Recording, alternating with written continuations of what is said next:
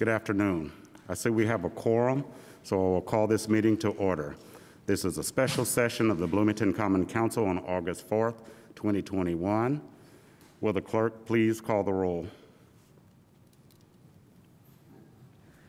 Councilmember Rollo, Here. Volan, Here. Rosenbarger, Here. Sgambelluri, Here. Sims, Here. Flaherty, Here. Piedmont Smith. Here. Smith. Here. And Sandberg. Here. Thank you. Thank, thank you very much, and everyone um, is present for this evening. Mr. F- Councilmember Flaherty. Yes, Mr. President, uh, due to concerns for public health and safety, I move we recess and reconvene at 4 o'clock PM today, August 4th, in virtual form only, continuing to use the Zoom meeting information available in this special session's agenda and packet. Second.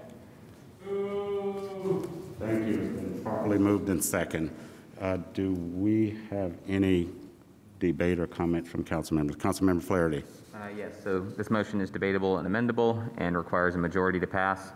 Um, I've prepared a a few sentences just by way of explanation. Um, I think a lot of folks know, uh, in Monroe County, we have COVID-19 vaccination rates of just above 40, I'm sorry, 50%. Uh, Both cases of COVID-19 and hospitalizations from COVID-19 have been steadily on the rise over the last month. Additionally, the Delta variant of the novel coronavirus is highly contagious and is now responsible for the strong majority of cases in Indiana. And for all these reasons, my view is that hosting a potentially large in-person gathering at City Hall, even with safety protocols in place, is not in the best interests of public health and the safety of our community at this time. That said, I feel very badly and apologize for the inconvenience uh, to folks who plan to comment in person today. Unfortunately, due to the uncertainty of whether Governor Holcomb would extend the declared state of emergency, and due to the long lead time and relatively significant expense of noticing this public hearing on proposed annexation, as well as how it was originally noticed uh, for a hybrid meeting, it was not a viable option to reschedule the meeting to be virtual prior to this motion today.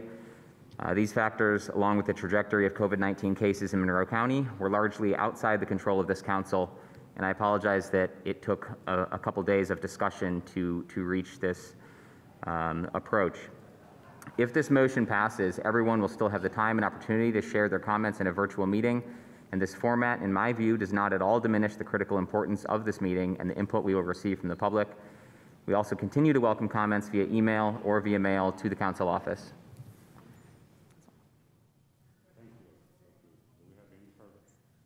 Thank you. Do we have any further comments from any further council members? Mr. Lukaszak, do we have anybody online I can't see? Councilmember Rollo. Oh, I'm sorry. There was an echo. Do you? Uh, Councilmember Am Rollo. I, are, are you hearing an echo? No. Okay, good. Uh, Well, I agree w- with my colleague, um, parliamentarian Flaherty. Um, I think with regard to the motion, the, the landscape for this pandemic has changed considerably over the last week, two weeks or so. Um, Of course, the- he referred to the new variant, which is now about 80, over 80% of the new cases in, in the country. Uh, I would just add that the, the variant seems to be able to propagate in people even if they've been vaccinated.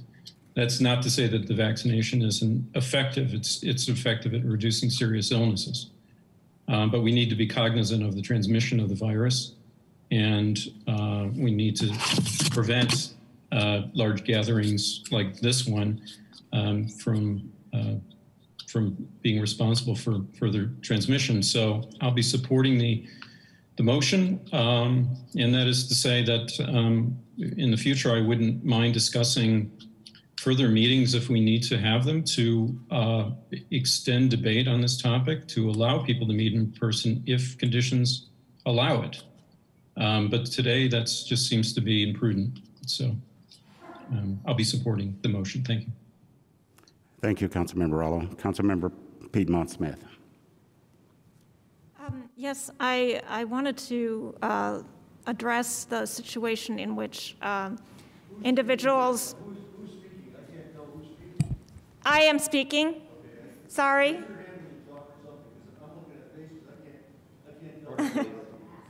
Um, I wanted to address the situation uh, in which somebody may not have the technology at home to join or ask questions or give their public comment via Zoom. And I believe the Monroe County Public Library is open until 9 o'clock tonight and does have public computer terminals uh, available. And so I would encourage anybody who is unable to um, participate from home due to technology issues to take advantage of the public resource of our, our public library. Um, that said, I, I think we're in a, a very regrettable situation here because I know um, there's no real substitute for, for one-on-one interaction. Um, it's not as powerful to, to make your comments over Zoom. Um, then again, uh, it's, we have gotten into the habit of um, doing public comment over Zoom, and in, in some senses, we have um, been.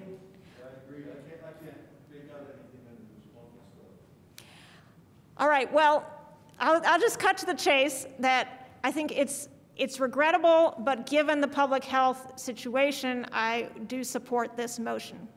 Thank you. Thank you, Councilmember Piedmont Smith. Councilmember Volan. Thank you, Mr. President. Um, In the motion where we talked about how uh, this meeting would be structured, I moved for a uh, half-hour recess, which seems to be no longer necessary um, if we're going to be meeting online after 4, starting from 4 until, I assume, 9 p.m. Um, Is it appropriate for me to move uh, that we remove the recess, or how, what, I'm looking for advice from the chair. Well, I'll um, let our parliamentary address it, but what I do think is that that would be proper if, in fact, the motion passes and then we do reconvene at four. And once we reconvene, um, then your motion w- is better to be entertained then, if I'm correct. Okay. Thank you very much. Thank you. Do we have any more or other council comments? Councilmember Sandberg. Thank you. Um, Given the lateness of this announcement and this possible p- action, I know we have reserved tomorrow night, Thursday, August the 5th, as a possible overflow night. Um, And I know this can be discussed too, once this motion is dispatched. Um, But I think under the circumstances and with all due respect to the public, I would hope that uh, that, that meeting be also dealt with tonight in terms of announcing it and making sure more of the public knows that this will be continued into another day. I think that is only fair, given what is possible to happen. Thank you. Thank you, Councilmember Sandberg. Do you have any further comments from council members? Okay, President Sims? yes, I- yes, may I just- Councilmember Rollo. May I ask that uh, if anyone in the audience there has written comments that they'd like to submit to, uh, to give them to our council attorney, Stephen Lucas, so that he can uh, give them, give copies of those to us. Okay, thank you, and I believe that was referred to in a notice that we're giving to folks here present. Um, But thank you for that sure. reminder. No, thank you very, very much. You. Okay, seeing no further comments. um, What I'd like to say is, um, in deference to one of my council colleagues, yes, there has been multiple contingency dates discussed um, should this conversation from the public be- needed to continue. Um, We don't have a crystal ball, so I don't know if it'll be done in today or if it'll need to be extended to other dates. We do have contingency dates. I do think it's improper, um, if not unwise, to announce those dates until we get to the end of today's deliber- deliberations to see if we in fact will need to schedule those dates. Um, I was asked earlier by someone out in, in the lobby um, about their right to speak. And uh, that has never, ever been the case. In fact, I do not believe that um, that right has been taken away. In order to schedule um, these meetings. We must do these in advance, and we must properly publicly notice them. When this meeting was noticed, it was noticed prior to the mayor, I'm sorry, the governor extending his emergency health order until the end of this month. But our meeting was scheduled after July 31st, which, which we anticipated that his health order would be rescinded. But it got extended.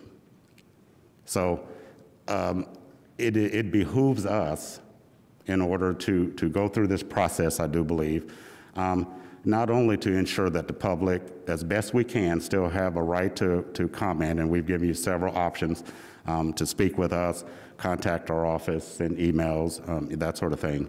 And I would ask that you please take advantage of that.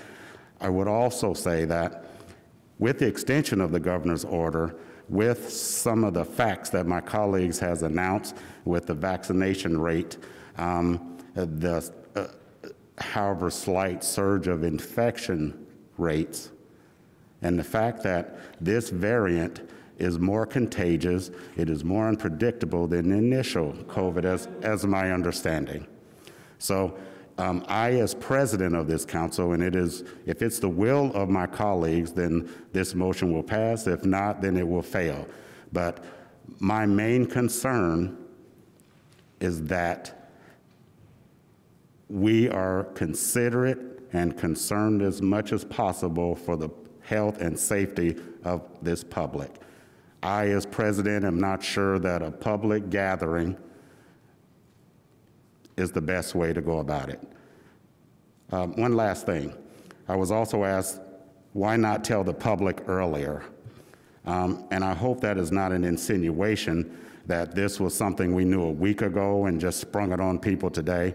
This has been an ongoing conversation with our, our council staff, with some of our colleagues on some of these concerns. Um, there are legal considerations with regard to noticing and how we conduct business. So all of those things have to be taken into account. This possible action brought on by this motion, I feel, is the most middle road approach between taking care of council business, receiving public comment, and being as uh, pragmatic as possible about this community's health and safety with regard to uh, gathering uh, in a public meeting. So thank you very much.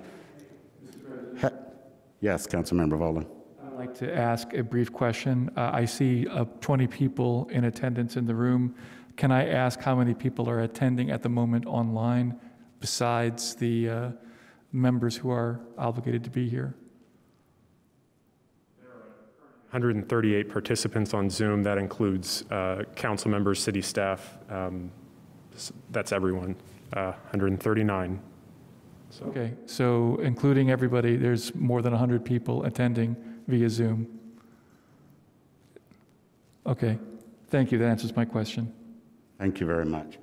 Um, Good question, and I will say that those folks that are on Zoom, of course, if this motion passes, we will reconvene um, at the time that's announced. I believe it's 4 p.m. And um, we're also, people that are present have been asked to sign in on the, the sheet that we have out front, and they will be in the queue um, to speak in the order in which they signed that, um, should this motion pass to reconvene. So again, it's unfortunate, it's not ideal, but to the best of our ability, we think this is the best middle road approach um, to, again, take care of business. So seeing no further council comments, will the clerk please call the roll on the motion on the floor? Rollo, Yes. Volan, Yes. Rosenbarger, Yes. Sgambelluri. Yes. Sims, Yes. Flaherty, Yes. Piedmont Smith, Yes. Smith. Yes. And Sandberg.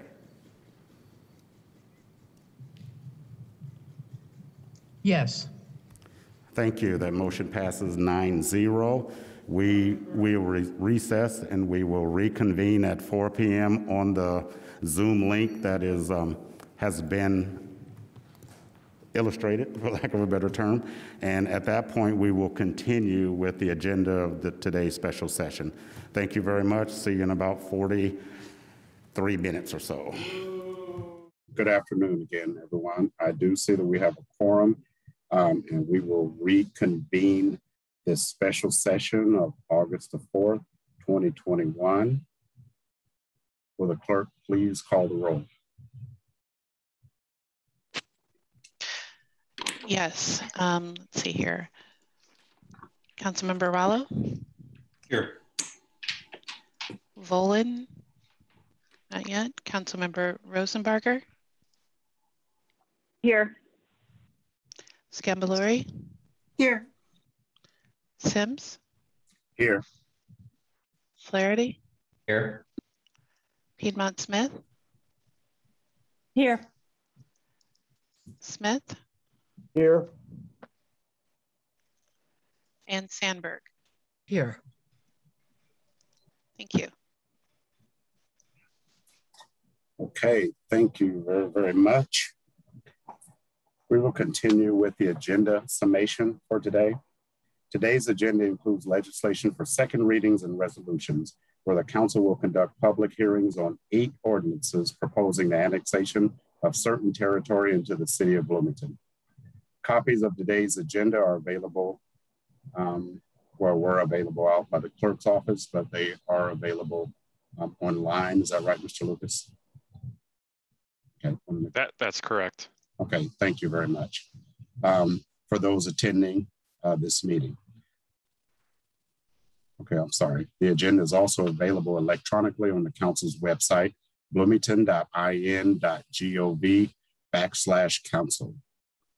From that main homepage, click on the meetings and documents button and scroll down to today's date to find the agenda and meeting packet. Each ordinance on today's agenda applies to one of the eight territories proposed for annexation. Each item is titled An Ordinance of the City of Bloomington, Monroe County, Indiana, annexing territory to the City of Bloomington, placing the same within the corporate boundaries thereof and making the same a part of the City of Bloomington. These ordinances are as follows. Ordinance 17-09 proposes the annexation of Area 1A, Southwest A Bloomington annexation. Ordinance 1710 proposes the annexation of Area 1B, Southwest B Bloomington annexation. Ordinance 17-11 proposes the annexation of Area 1C, Southwest C Bloomington annexation. Ordinance 1712 proposes the annexation of Area 2, Southeast Bloomington annexation. Ordinance 17-13 proposes the annexation of Area 3, North Island Bloomington annexation. Ordinance 17-14 proposes the annexation of Area 4, Central Island Bloomington annexation. Ordinance 17-15 proposes the annexation of Area 5, South Island, Bloomington annexation. And Ordinance 17-17 proposes the annexation of Area 7, uh, North Bloomington annexation. Copies of these ordinances along with the annexation area maps are also available again on the website or the council's website that I mentioned earlier. Um, just a reminder, the council previously scheduled a break during today's meeting from 5.45 to 6.15 p.m. and set an end time for 9 p.m. These, these times can be changed by further motion of the council. Before moving to the next agenda item, I'd like to give a brief explanation of how today's meeting will function and a bit of background. This meeting continues annexation proceedings that the city of Bloomington began in 2017. The city's annexation process was put on hold in 2017 as a result of changes in state law and subsequent litigation.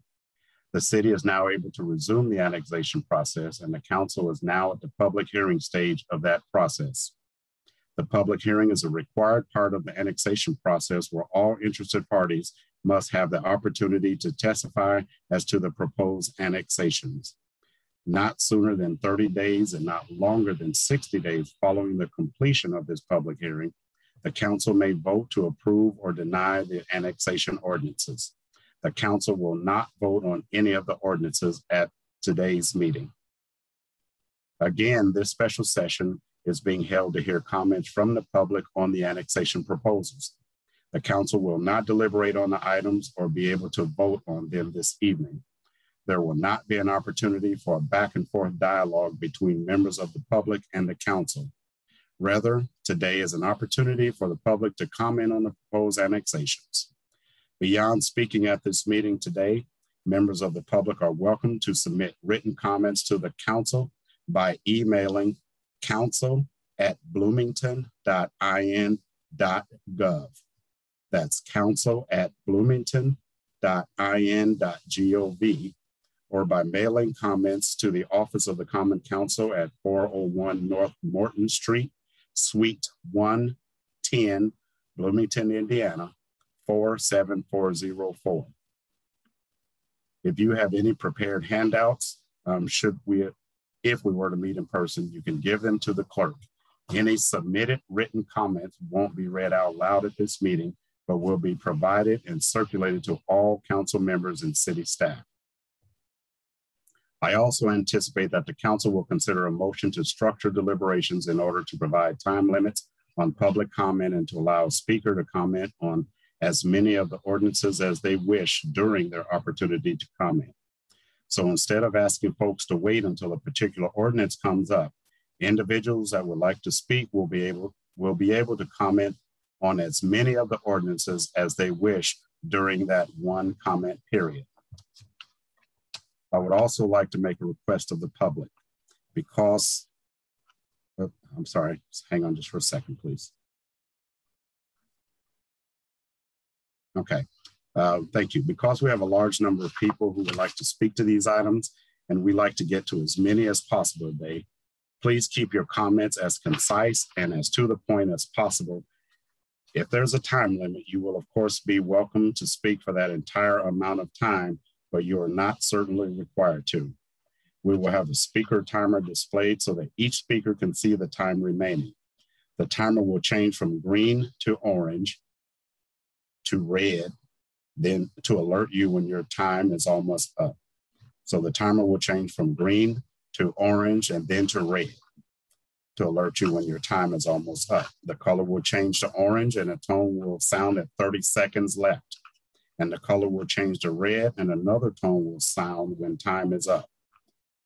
Here's a quick dem demo so you can hear what to expect. Uh, will you do that demo, uh, Mr. Lucas? There you go.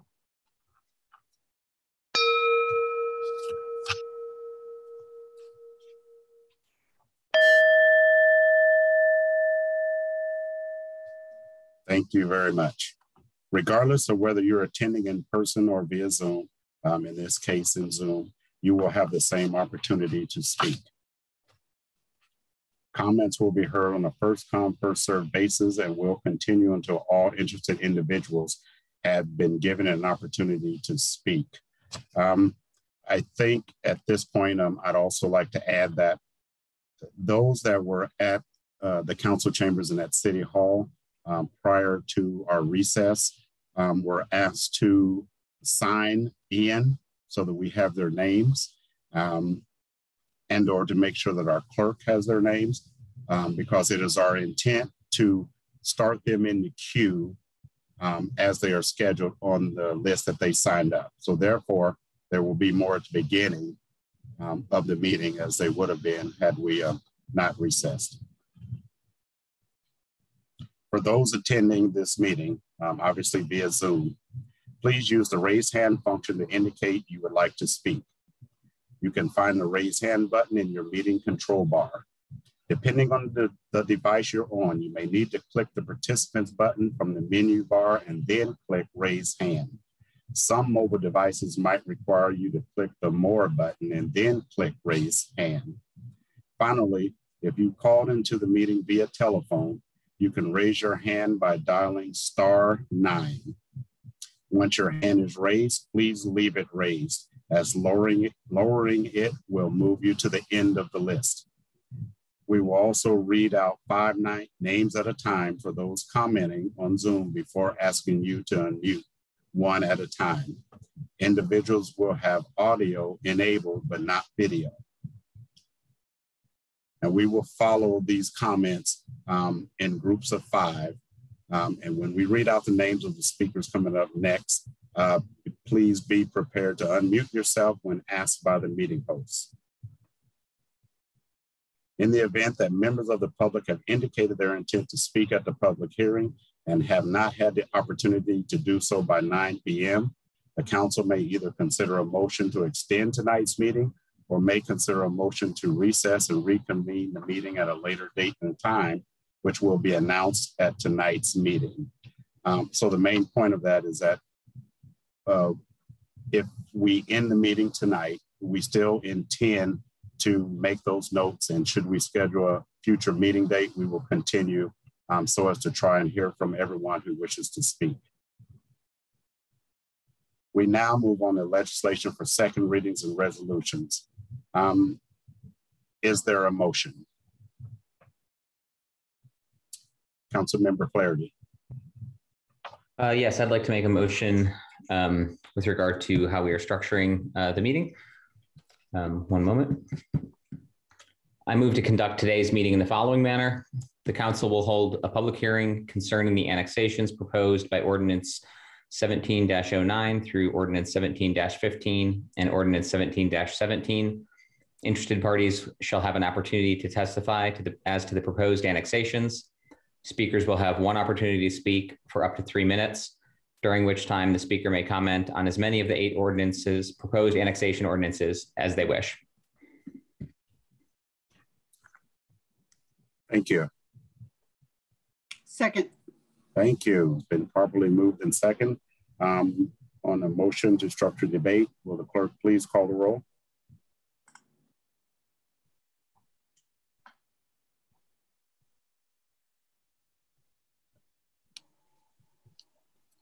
Sorry about that. Councilmember Rosenbarger?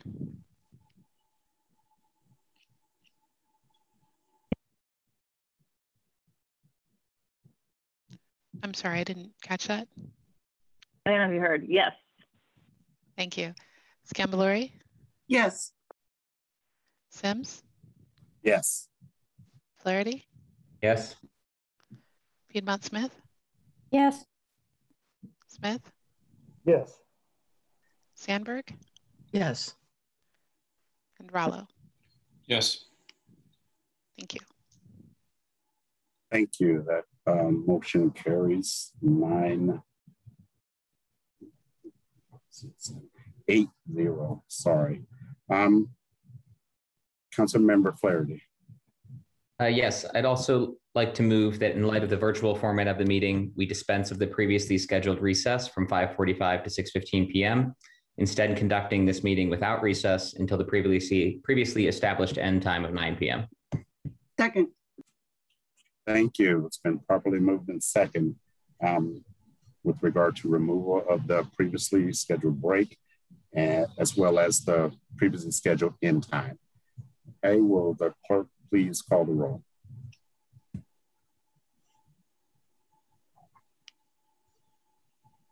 Um, yes, Councilmember Sgambelluri? Yes. Sims? Yes. Flaherty? Yes. Piedmont Smith? Yes. Smith? Yes. Sandberg? Yes. Rallo? Yes. And Rosenbarger? Yes. Thank you. And that motion um, carries. Um, we will now move to the hearing portion of our meeting, um, or which is the, the, main purpose of our meeting, that is to go to the public for comment. Um, Mr. Lucas, who do we have in the queue? yes, and just another reminder on how folks can raise their hand, which they should do now if, if they uh, would like to comment. You can find the raise hand button in your control bar at the bottom of your Zoom screen. uh, you may need to click on the participants button uh, and then there should be a sidebar that, that pops up and uh, I believe there's a raise hand option there. On some mobile devices, I believe you have to click the more button and there's a raise hand function uh, that, that should come up. And if you are calling in uh, via telephone, I believe you can dial star nine to uh, raise your hand. If all of that fails and you are on uh, Zoom, not on telephone, and can send a chat in to the meeting host, um, we won't be reading comments out loud, but you can indicate that you'd like to speak and we'll ask you to unmute. So um, with that, um, I do have the list of folks who signed in in person. And uh, the first five names uh, on that list are Bart Farrell, Nikki Williamson, Dan Williamson, Joseph Grott, and Jim Burton. I don't see Bart Farrell in the meeting, but I do see Nikki Williamson. And uh, Ms. Williamson should be able to unmute now. Hello. Can you Hello, hear me? Ms. Williams. Yes, we hear you fine. You have three minutes, ma'am. Okay. Good afternoon. My name is Nikki Williamson, and I'm the president of Edgewood Hills Homeowners Association. Edgewood Hills is located in Area 2. We are situated off of Highway 46, east of the city of Bloomington. We have a forthcoming amendment respectfully asking that we be removed from the plan. We in Edgewood Hills believe that annexation is an appropriate course of action as metropolitan areas grow and change, and major city amenities are expanded into neighborhoods that meet the criteria for urbanization. However, we also believe that certain neighborhoods are not appropriate for that action when those services cannot and will not be provided. Edgewood Hills is one such neighborhood. Established in the 1960s, we are a self contained neighborhood of 58 houses. We are surrounded by two creeks and are heavily forested on all sides, including lands protected by Sycamore Land Trust. As such, there is no room for expansion within our neighborhood or the surrounding areas. Furthermore, because of the topography and density, city department leaders have confirmed that common amenities such as parks, busing, and sewer lines will not be placed in our neighborhood. Finally, the city of Bloomington is functionally inaccessible to our neighborhood. There is only one road in and out of Edgewood Hills, that is Lori Lane. To get to the near, nearest city sidewalk, we must walk up Lori Lane, which is very narrow, heavily forested on both sides, and non-shouldered. Once we get to the top of Lori Lane, we are met with Highway 46. We then have to walk a half a mile down Highway 46 to reach the nearest city sidewalk. I think it's safe to assume that INDOT has no plans to put sidewalks down Highway 46. One final point of clarification, Edgewood Hills is not connected to any other neighborhood in Monroe County. Our nearest neighbor is Cedar Springs, which sits directly to our west. That is a newer neighborhood, less than 10 years old, and we assume that they may have some of those city amenities in place. However, we share no common characteristics and we have no roads connecting us to them. If the city would want to build a road, it would need to clear forested lands on private property belonging to our homeowners, which is a potential eminent domain case. Our forthcoming amendment outlines these points in more detail, and I'm also available to answer questions of any of you in the coming days. I want to close by saying that we appreciate the time and careful consideration you are putting into this project. From our interactions with many of you in recent weeks, we know that you are very thoughtful in your deliberation, and we really appreciate you. Thank you for your time. Thank you for your comments, Ms. Ms. Williamson. yeah, thank you. Who's next, Mr. Lucas? Next up is Bart Farrell, and I believe Mr. Farrell should be able to unmute.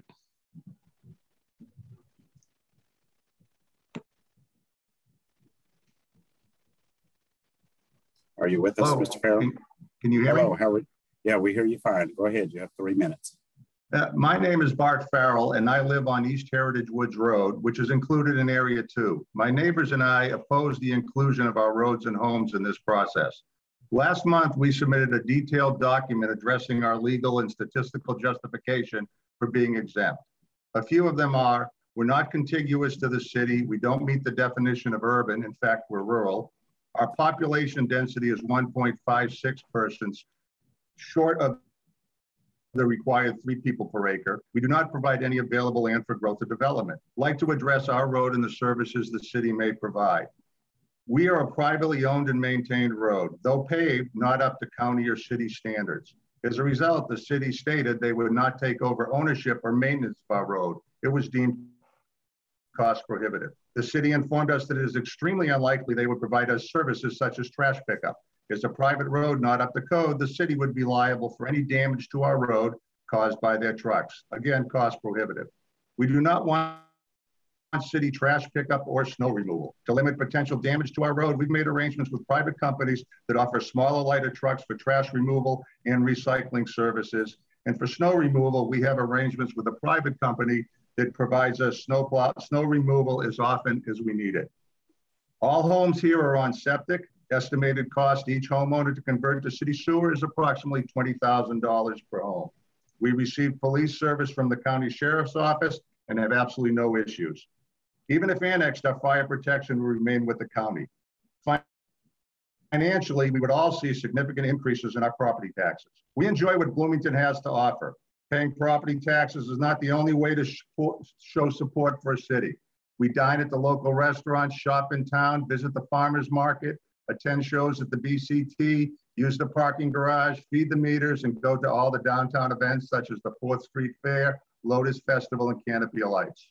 Many of us work in downtown Bloomington. The mayor reportedly stated that people who live in the city's fringes benefit from the city's success by having access to better retail, restaurants, and entertainment.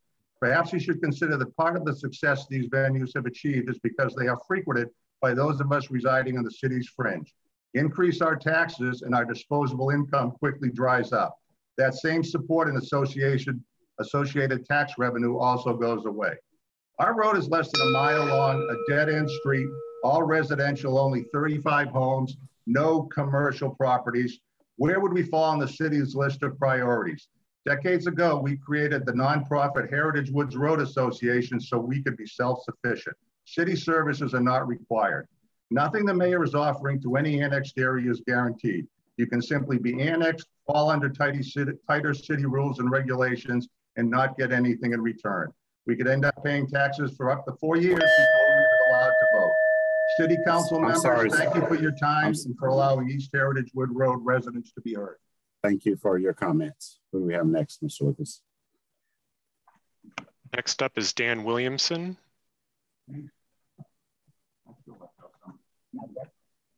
Uh, yeah, I'm here. How are you, sir? Uh, we hear you fine. You have three minutes. Thank you. Good afternoon, council members. My name is Dan Williamson. Uh, I'm a homeowner in the Edgewood Hills neighborhood of Area 2. Uh, I serve as the treasurer for our homeowners association. I also own an insurance agency in the city of Bloomington on the west side. Uh, being in the insurance industry, I've paid attention to growth in the city, and it seems to me that largest the largest potential for growth is happening on the west side. If the city is annexing property as a strategy for future growth, I would think the best opportunity for that lies uh, west of town. I also want to thank the council members uh, for their thoughtful examination of the current maps and for their willingness to meet with us and hear our concerns regarding this process. Thank you.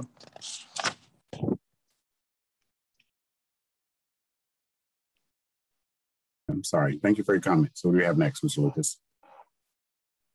Next up is Joseph Grott, although I'm not sure that I see him in the meeting.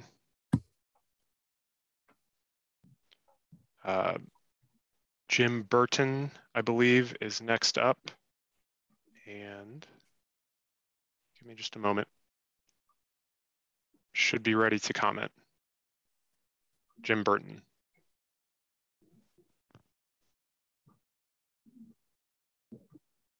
Can you hear me? Yes, we do, Mr. Burton. Thank you. You have three, you have three minutes. My name is Jim Burton. I'm here on behalf of the residents of Area 7. 93% of our eligible property owners adamantly oppose annexation and have signed preliminary petitions. You're receiving print copies of those this evening. I urge you to consider our comments and ask you to withdraw Area 7 from consideration. We are part of the greater community. We care about and contribute to the quality of life in Monroe County as well as Bloomington.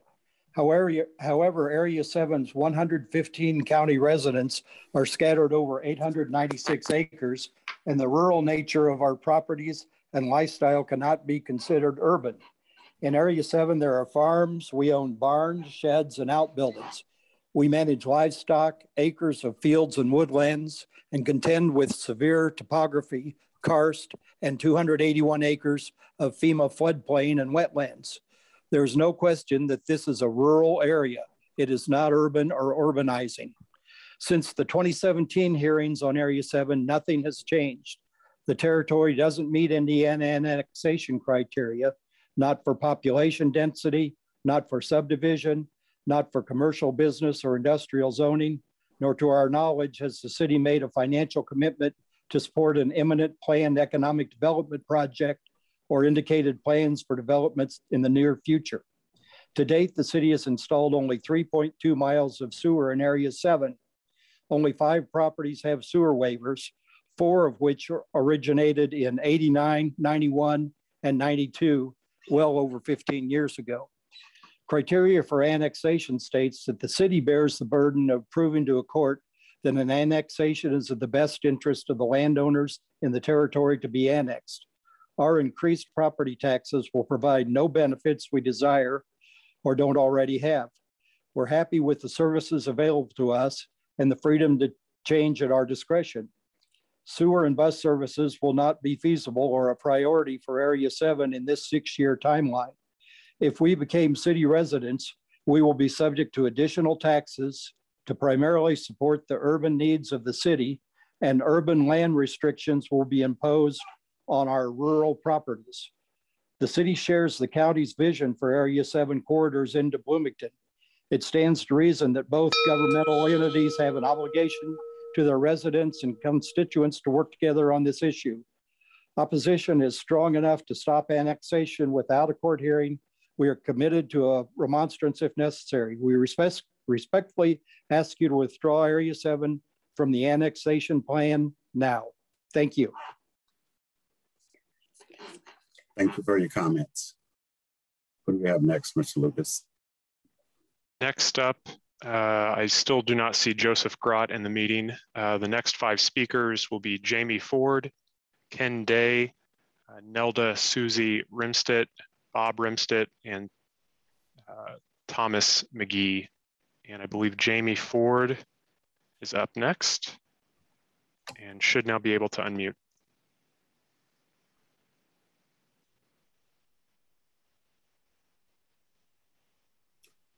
Think they muted themselves instead of unmuted. Let's try that again.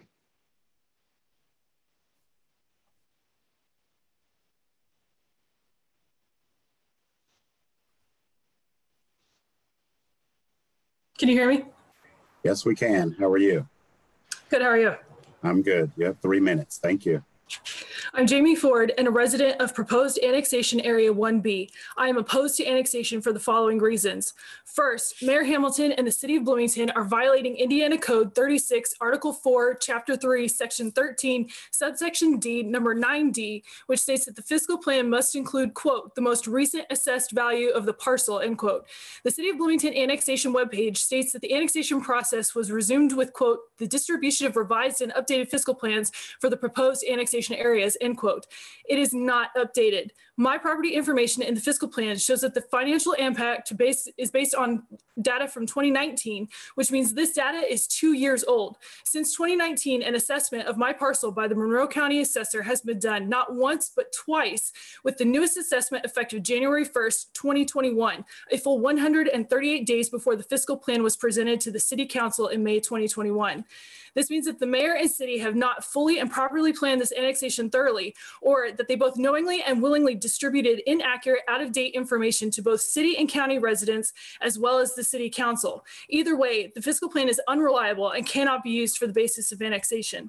Second, this means that the Baker Tilly report for the county must be considered because even with 2020 data it, it used, it is more accurate.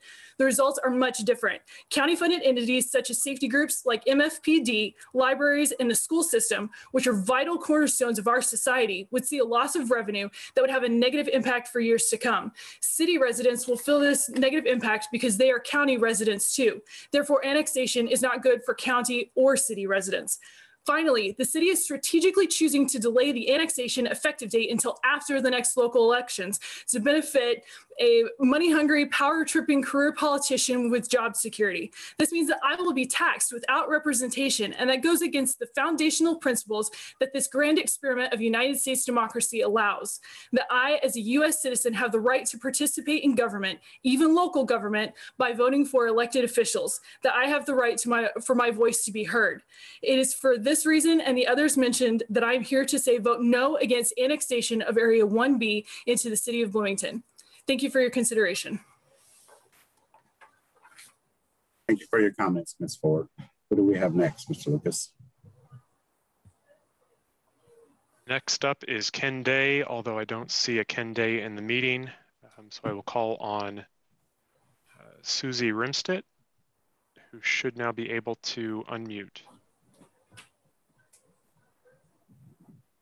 Speaking from Stone Lake Park, 1A, and uh, my uh, testimony is personal. I want to live life to its fullest as long as I live. I want to be active and a productive person as long as I physically can.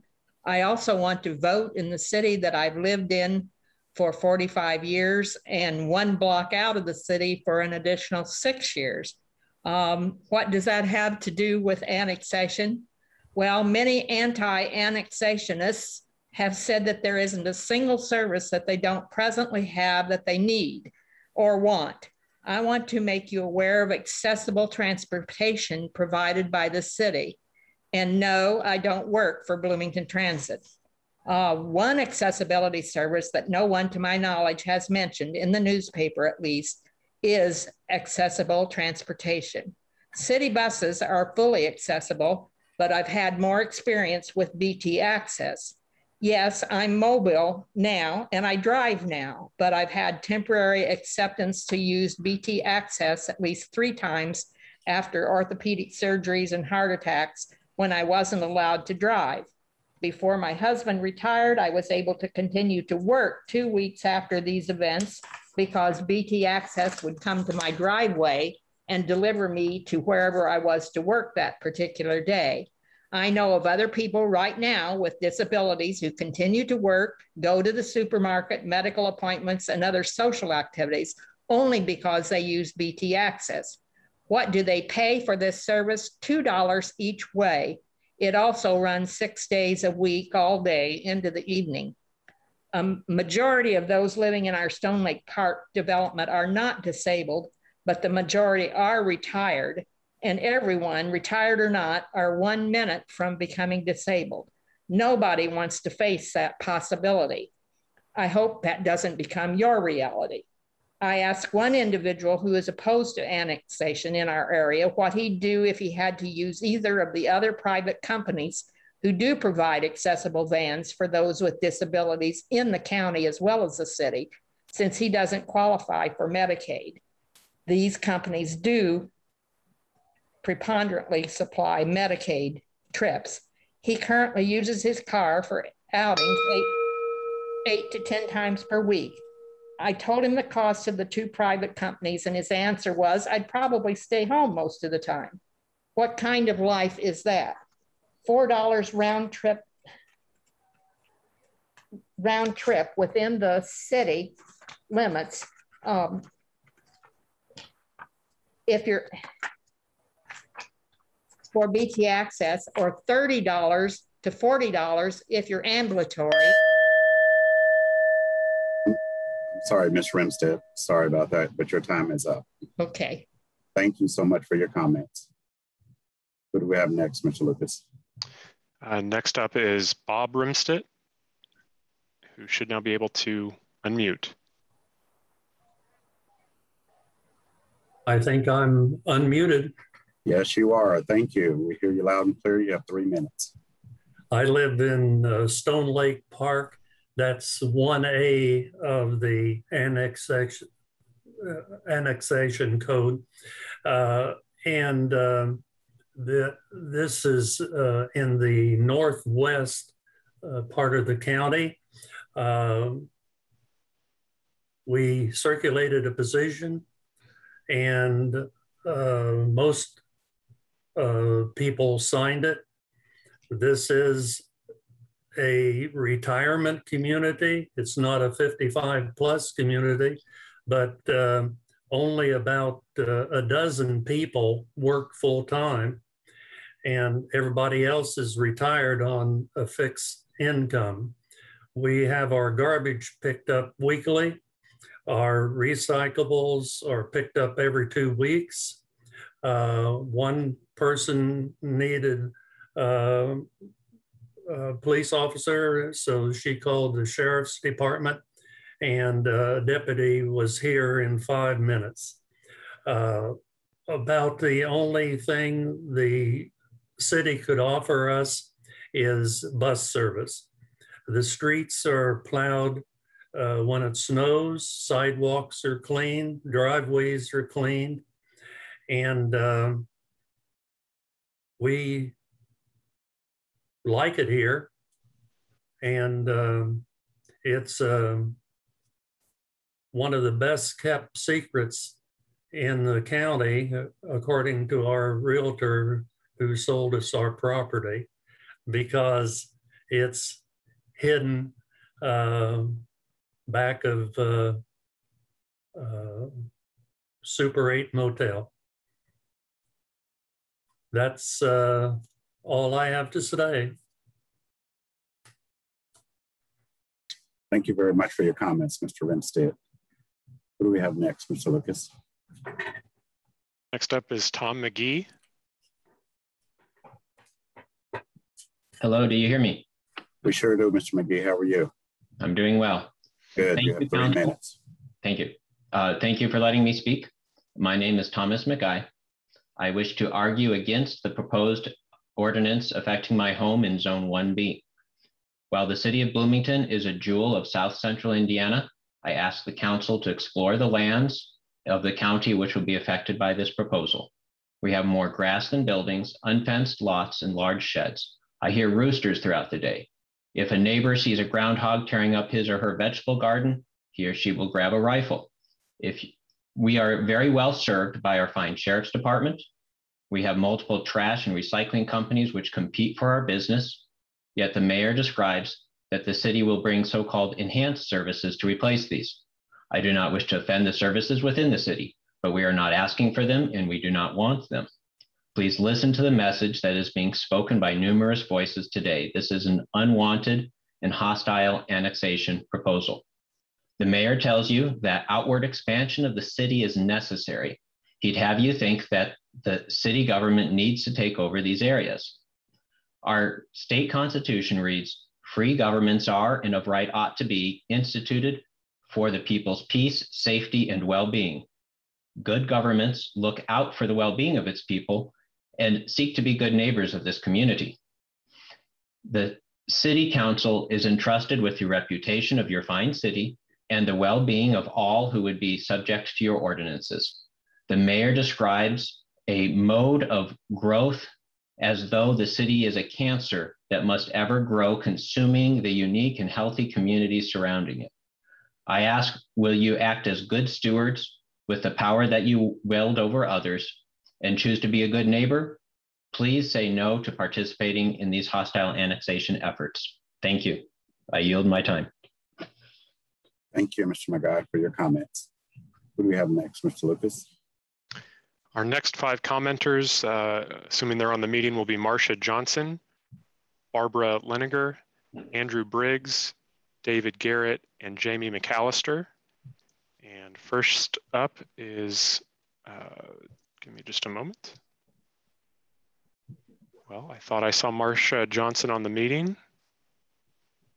I'm not sure if she hopped off, so we will go to uh, Barbara Leniger, who should now be able to unmute.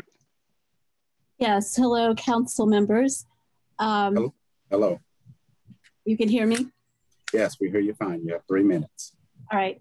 Um, while I don't have a written statement today, um, and I, I'm in the same area as uh, Jamie Ford, I'm in 1B, uh, and I pretty much agree with everything she said. As far as Tom goes, um, I appreciate the fact that he has the opportunity to take a gun out and, and kill the groundhogs. I probably would give them a carrot, but in any case, we have those rights as it stands right now. Um, and I and I do want to just note that I was very disappointed that the meeting was closed today. I did call the hospital and ask about um, the health crisis that I was told we were in, and the hospital told me there was no crisis. So I just wanted to put that out there. Um, I feel like it is voter suppression not to be able to attend this in person. Uh, in the area where I live, there's really no available land for growth or development by the city. We uh, already have city water and sewer, which I pay for. And um, right now, there's no need for any trash service. We're happy with what we have, and we have, are happy to make the choices, have those choices. And uh, I would like the council members to please vote against this uh, unlawful annexation and um, allow the people to have their property. I'm a victim of uh, eminent no domain and had a portion of my property taken by the state for uh, the I-69. And uh, I've already lost property, I've lost trees and a lot of my rights. So I do not want this to happen again. And I would ask you to vote no. Thank you so much for your comments. What do we have next, Mr. Lucas? Oh, I don't see uh, Andrew Briggs or David Garrett on the meeting. Um, so we will go to Jamie McAllister. And just just briefly, um, if I've called out your name and you are uh, you've joined the meeting under a different screen name, please uh, please let me know in chat if you can. Uh, I think that includes Joseph Grott, uh, Ken Day, uh, Marcia Johnson, and now uh, Andrew Briggs and David Garrett. So we'll go to Jamie McAllister next, who should now be able to unmute. Yeah. Go ahead. Hi, my name's Jamie McAllister. I'm a retired hairdresser. I live on a fixed income. I am not gaining anything, nor will my neighbors, if this annexation happens. We already have snow removal. We have we have a recycle place within a mile of our house. We have sidewalks. I used to live in the city and I enjoyed being able to walk to campus. However, the home I lived in there, the property taxes became so expensive, I could not afford them. And that's when I had to move out in the county. I love being out in the county. We can do, uh, have any pets we want. We can, we don't have to, you know, adhere to any strict rules. Um, I live down by the racetrack, and that's never bothered me. Um, in turn, if you increase this by annexing me in, I will no longer be able to afford even the county. And you've already raised the taxes once this year already. If you live out here, you can compost, you can burn your trash, and you can recycle all you want to. There's a bus stop out here. However, it's two mile walk from here. And I don't believe the bus station will come out here. There are also three law officers that live in my neighborhood. So I never have to worry about police activity not, not getting to me in time. So with all this said, I am absolutely and completely against the annexation as well as my neighborhood. They are also in the same boat I'm in, and they cannot afford this increase. So, where would you like us to go live now? That's it. Thank you so much for your comments. Mr. Lucas, who do we have next, please? Next up is Andrew Briggs, I need to mute you. and they should now be able to unmute. Uh, hello, my name is Andrew Briggs. I live in section 1A of the proposed annexation. That's the in the Fieldstone neighborhood to be exact. And I'd like to thank you all for hearing our comments today. I'd like to begin with a couple uh, statements, some that might be debatable, and you might not agree with me, but I believe that bigger government usually translates to more waste, higher taxes, mediocre services, less freedom for people to choose. And I'm making an assumption here that we are still a democratic republic and that your job is to, to serve the will of the people. I'm not being a Bloomington resident. I did not vote for any of you. Uh, maybe I'll have that opportunity, unfortunately, in the future, but I don't want that opportunity. Uh, I think you ought to make a referendum on next year's midterm election. I appreciate the the uh, the concern of the woman who'd like to get public transportation to her neighborhood. That's that's a viable thing, but to force this thing down people's throat, a resistant taxpayer's throat, is really it's it's not a thing of integrity, and I think it probably is illegal because it's not uh, it's not represent positive representation of the people, and you're making a choice for us that we aren't asking for. I'm um, very uh, thankful for the city I live in. I have city water. Uh, I have city sewer, which I pay a lot more for than I do for the water. Um, but we pay for those services. We need those services. We want those services. But why not just give us the choice rather than steamroll this thing down on top of us? Because that's not going to have any kind of uh, good uh, goodwill of the public behind your uh, decision. That's all I have to say. Thank you for hearing my comment. Thank you very much. Thank you. Mr. Lucas.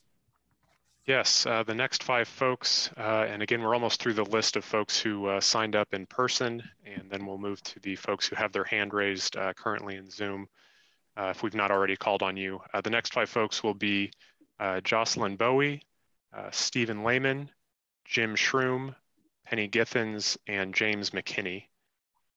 And first up, I believe, is Joc uh, Jocelyn Bowie, who should be able to unmute now. Hi, can you hear me? You sure can, Ms. Bowie. Thank you. You have three minutes.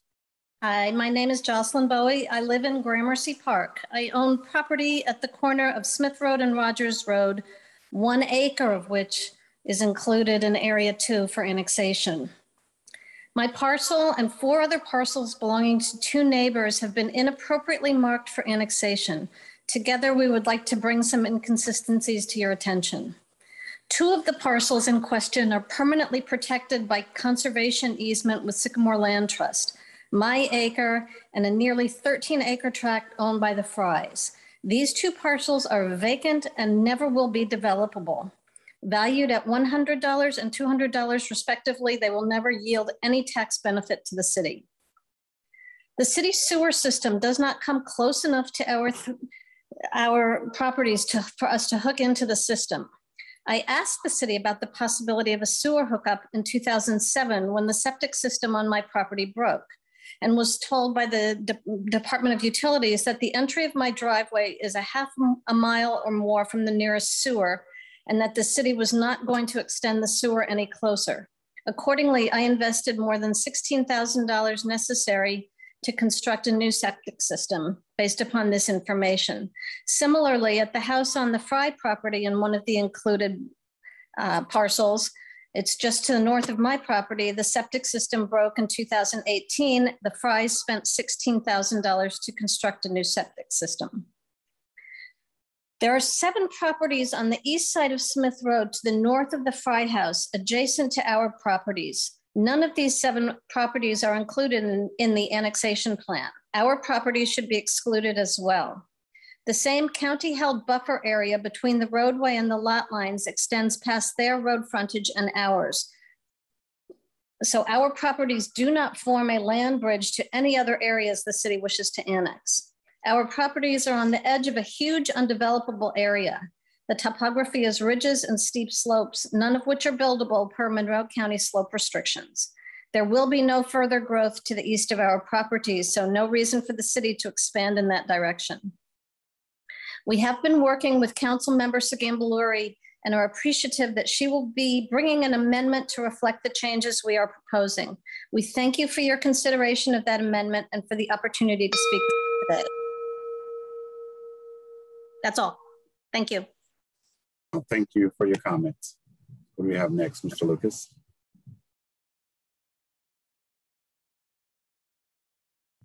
You're, you're muted, Mr. Lucas. Apologies. Okay. Uh, next up is is Steve Lehman, although I'm not sure there are a couple of Steves on the on the meeting. Um, I don't know if Steve Lehman could uh, raise his hand to let us know uh, that he would like to comment um, while he's working on that. Uh, I believe next up is uh, Jim Shrum. And there is a Jim on the meeting that I'm assuming is Jim Shrum who should be able to unmute. Yes, this is uh, Jim Shrum. Thank you very much. Uh, I was a little bit disappointed. I did take half a day off of work today to come down to the council meeting. Um, I was a little bit surprised it was canceled at the very last minute, so a very a little bit disappointed with that. Um, would like to thank uh, thank Steve Volan for taking some time to uh, speak with me. Also, the deputy mayor also for taking time to speak. So definitely appreciated their uh, giving ear there. Uh, I do find it a little bit uh, disingenuous, to say the least, when I have a Democrat uh, council that, with all the talk of voter suppression and everything going on today, that if this actually goes through and you approve approve this for approve the uh, annexation uh, request here, that allowing it the where we cannot vote on that, that is probably the ultimate form of voter suppression when I do not have the ability to vote. And you can argue it's state law or whatever, but you have the ability to keep this from going through and keep me from, and therefore, since I can't vote, you are my vote at that point. Uh, thank you very much. Thank you so much for your comments. We have next, Mr. Lucas. Next up now is Steve Lehman, who should be able to unmute. Thank you. Can you hear me all right? I sure can. Go ahead, sir. You have five minutes or three minutes. Sorry. Okay. Uh, my name is Steve Lehman, and I live within the Bloomington city limits, so I'm not as directly affected by this annexation. Um, but I do know a number of people that live in the county, and I wanted to uh, share my thoughts on this. In general, I don't think that there's anything wrong with annexation, and I know it's been close to 20 years since we've annexed in Monroe County. But I will say that this particular uh, plan here is way, way too much. It's too fast and it comes at a really bad time for people. Um, I would say shut it down now, come up with a plan that is fair and equitable. Uh, with the issues that we've had with the pandemic in the last two years, I think that that would be a good guideline um, for the time to push it back and just say, hey, we're going to take it back up in two years and we're going to work on a good plan for the folks in the county. They're going to be annexed. And I think that um, that the city could definitely reduce the number of people that are upset about this. Thank you. Thank you very much for your comments, Mr. Lehman. Mr. Lucas. Next up is Penny Githens. Hi. Hi, Ms. Githens. I'm, How are you? You have five minutes. I'm, I'm fine. Thank you, Mr. Sims. Um, I'm here today as a resident of city of Bloomington also, and I have multiple concerns about the proposed annexation, one of which is that it's not a voluntary annexation. When I spoke with Mayor Hamilton about what he had proposed, I told him that as a resident of Bloomington, I feared that annexation would increase my property taxes. He assured me that my property taxes would not go up. What I should have asked him, and I'm here to raise this before the city council, is can you assure me that annexation will not cause my local income taxes to go up? Now, some of you may be wondering why I would raise the issue of increased taxes for a Bloomington resident, and here's why. First is the actual cost of going through this annexation process. In 2017, the first time this administration attempted to annex a large number of properties, the city spent over $770,000. The Reedy Financial Group, which did the fiscal impact analysis that year, charged almost 400,000 and the mailing costs alone exceeded 120,000.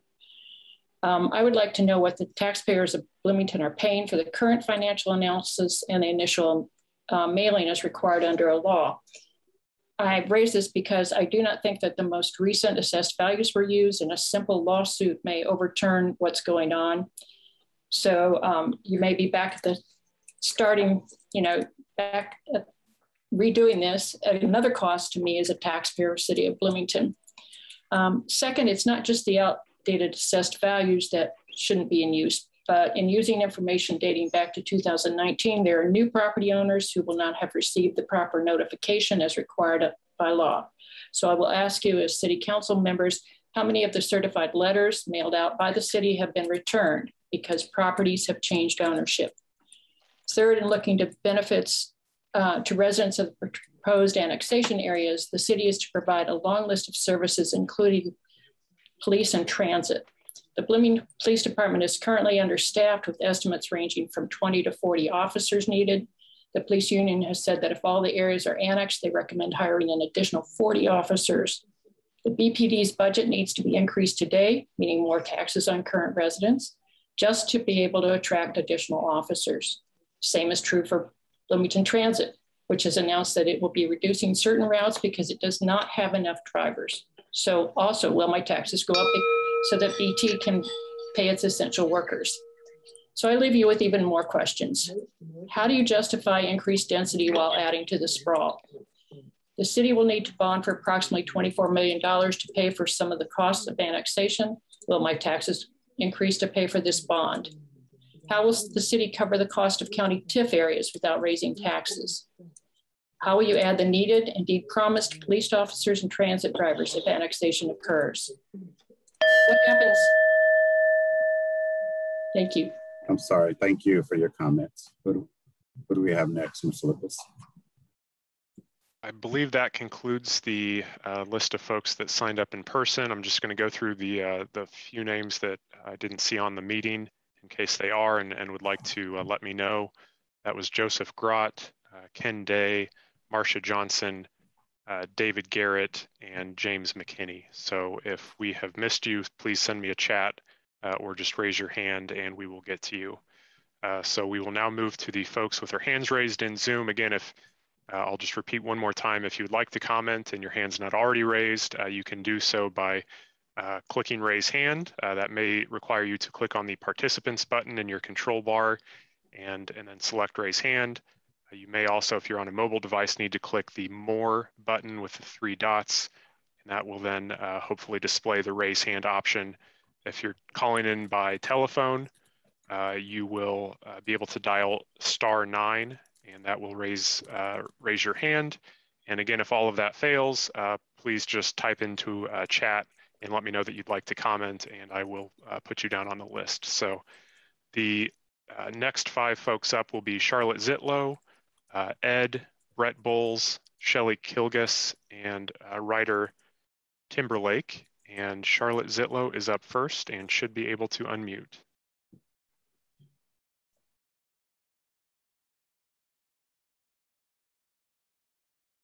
Can you hear me? Yes, I can, Ms. Oh, okay, How are you? You have three minutes. Thank you. Thank you very much for holding this belated and kind of messy hearing. I mean, you're holding it very nicely. And I appreciate, I really feel badly for you. You, you guys are in a terrible position. You have to act on something. You're, what you're doing is you're, you're acting on, on doing something to the city, citizens of the county without their acquiescence. And that's a hard, that's a shameful thing to do. I don't think it's fair. I don't think it's fair. I, I, but I know I have been in your position 50 years ago, I was on the city council and we did over 200 annexations in um, about five, five, four years. And we started out, and it, that included these, the um, industries on the west side. but we we we did not only I do I do I have not yet to hear a compelling reason for why you're why this annexation is going forward. I haven't heard anything that that made a has made a good case. And but but I assume that we we annexed very much for the same reasons in 1971 and 75. However, however, one of the our main main hopes out of all that annexation was that we would end up with a community that was united, that that that did not pit county residents against city residents. And what worries me most about this annexation process is that we are creating real, really bad, really bad uh, relations with our with our county residents and within the city. Many people are opposed to this. I live in the city. I didn't start saying that. I am a city resident and I am opposing this because I just don't think it's fair and I don't think it's been proven that it's necessary. I, I urge you to reconsider the whole darn thing. Thank you. Thank you, Ms. Zelo. Appreciate your comments. Thank you. Who do we have next, Mr. Lucas? Next up, I believe, is Ed, who should be able to unmute.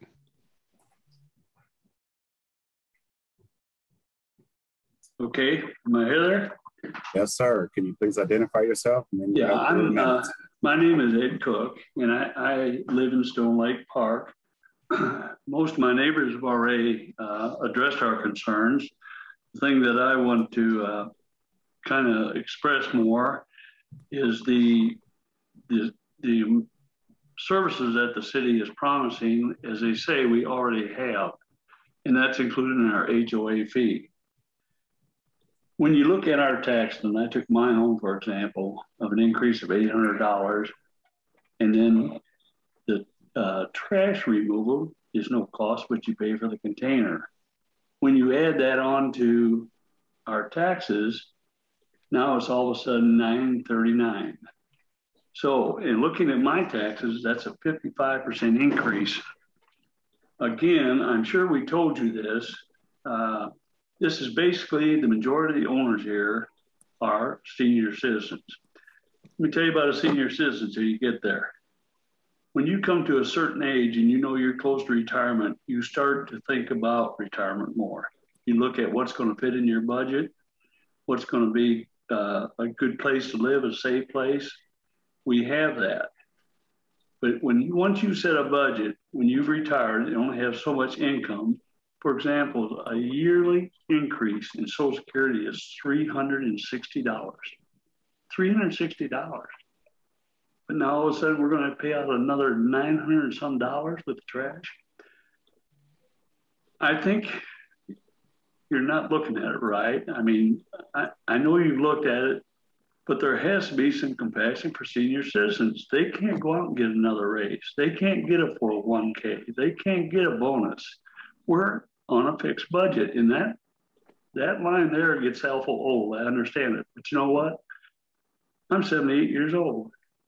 It is a truism. It is hard on a senior. Right now, we are into the panic mode. We don't even know what to do. Can we afford it? You think that sounds like a, is that going to break you $900? Everything is going up. It's getting where it's becoming worrisome to our neighbors. It's becoming worrisome to me. You plan your whole life how to make this thing work. And then all of a sudden you get hit with this. I'm asking that the Stone Lake Park be dropped from the annexation. Uh, really, I've said everything I can say, and I appreciate you for listening. Thank you very much. Thank you very much, Mr. Cook. We appreciate your comments. Who do we have next, Mr. Lucas? Good. Uh, next up is uh, David Garrett. You said I would have three minutes. Should be able to unmute. I went through all that. Hello, I am David Garrett. I own property both within the current city limits and in the proposed annex area 1A. The property I own in Bloomington is my home on the south side of town. I used to live in the home that I own in uh, proposed annex, annexation area 1A. that I now use for storage. Um, I'm 62 years old. I was born here in Bloomington and I have seen nothing but urban sprawl for the last 62 years. I was appalled to read in the Herald Times that a commenter said tax increases as a result of annexation are so the city can build another park and that it garnered laughter from the crowd at the county fairgrounds. This is not a joke and there's nothing funny about it. These extra tax dollars are needed to provide essential city services to these areas, such as city sewer service. There's no doubt in my mind that the majority of the people opposed to annexation are business owners and affiliates who would be forced to pay closer to their fair share of taxes, such as Cook Corporation. I agree with Senator Mark Stoops when he said that political corruption here in the state of Indiana is every bit as bad as a political corruption corruption in any third world country after Mayor Hamilton's previous annexation attempt failed due to the influence of an upper echelon member of Cook Corporation persuading our state legislators to defeat it, which there is no doubt in my mind was accomplished with dirty money under the table. Thank you for the time for your time. I appreciate the opportunity to speak. Thank you for your comments. Mr. Lucas. Next up is Brett Bowles.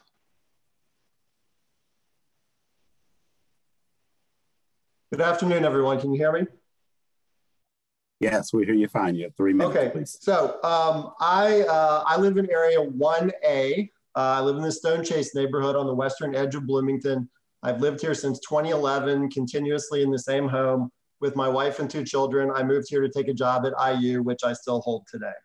So I'd like to speak out strongly against annexation. I'd like to address both the substance and the procedures surrounding the process.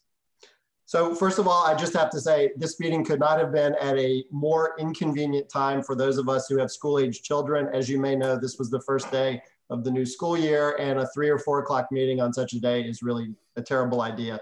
But I leave that aside for the moment. Um, so I've carefully reviewed all the available literature related to annexation, including the materials that the city of Bloomington provided, as well as the uh, independent audit that was conducted by, by Monroe County. And it's difficult to understand how any rational person who is a homeowner in one of the proposed annexation areas would actually vote in favor of this. What we have is a guarantee of increased property taxes without any guarantee of a proportional extension of city services. That's the bottom line for me. Now, beyond that, it's very clear when you look at the financials that the benefit in, in terms of revenue for the city of Bloomington is essentially a zero sum money grab that will diminish the coffers of other municipalities, particularly Monroe County, to a lesser extent, the various townships that are involved, and for example, the city of Ellettsville. And just to cite some of the numbers that came out of the independent audit, in the first three years, Monroe County would lose somewhere between $2 million and $3 million in revenue. The Monroe County Library would, would lose something like $175,000 annually. And the Monroe Fire District, depending on which audit you believe, will lose somewhere between $200,000 and $500,000. So these are this zero sum game is to my mind a, a, really bad idea. It's an even worse idea when you consider that the city will have to take at least a 20 year bond in order, in order to amortize all of the additional um, uh, expenses that will be incurred by annexation. That doesn't make any sense. And the only way to pull off such a bond, as some of the other residents have already expressed, is to increase taxes on those already living in the city of Bloomington. There's one final point I'd like to make in the 30 seconds I have left, which is that this is the procedure involving annexation is, to my mind, uh, absolutely unacceptable. It is essentially an involuntary annexation by default. And if this annexation is not defeated by the council, I hope that it will be, but if it is not, it is absolutely essential that all of the residents in the affected areas be mailed a ballot so that they can vote. This is particularly important given the ongoing COVID restrictions and shelter in place. Uh, thank you for your time. Thank you very much for your comments. What do we have next, Mr. Lucas? Next up is Shelley Kilgus. Good afternoon. My name is Shelley Kilgus, and thank you for listening to my comments today and for the information that I received in the mail and retrieved from your website. I am speaking today as one of the owners of Great Oak Tree LLC. It's a small business, woman owned, family owned property in Area 1A, and we are adjacent to the Cook property. It is from this small business vantage point that I'm speaking today, not residential. In the fiscal plan, I would like to draw attention to a couple of priorities that seem out of proportion from a business owner's perspective. As written in the fiscal plan, the Parks Department capital expenditures of nearly 14 million outweigh the fire department capital expenditures by a ratio of 10 to 1 and even worse outweigh the police department capital expenditures by 20 to 1 I would like for the council to reconsider these lopsided proportions if you are to approve annexation. As businesses are some of the largest taxpayers, and what we need are robust nearby fire and police services provided from the city. My second concern is regarding zoning. Our zoning classification in the county is termed light industrial. The city doesn't have a matching classification. As a business owner with vacant property, I am concerned about the obstacles we might may encounter as we pursue future development of our property.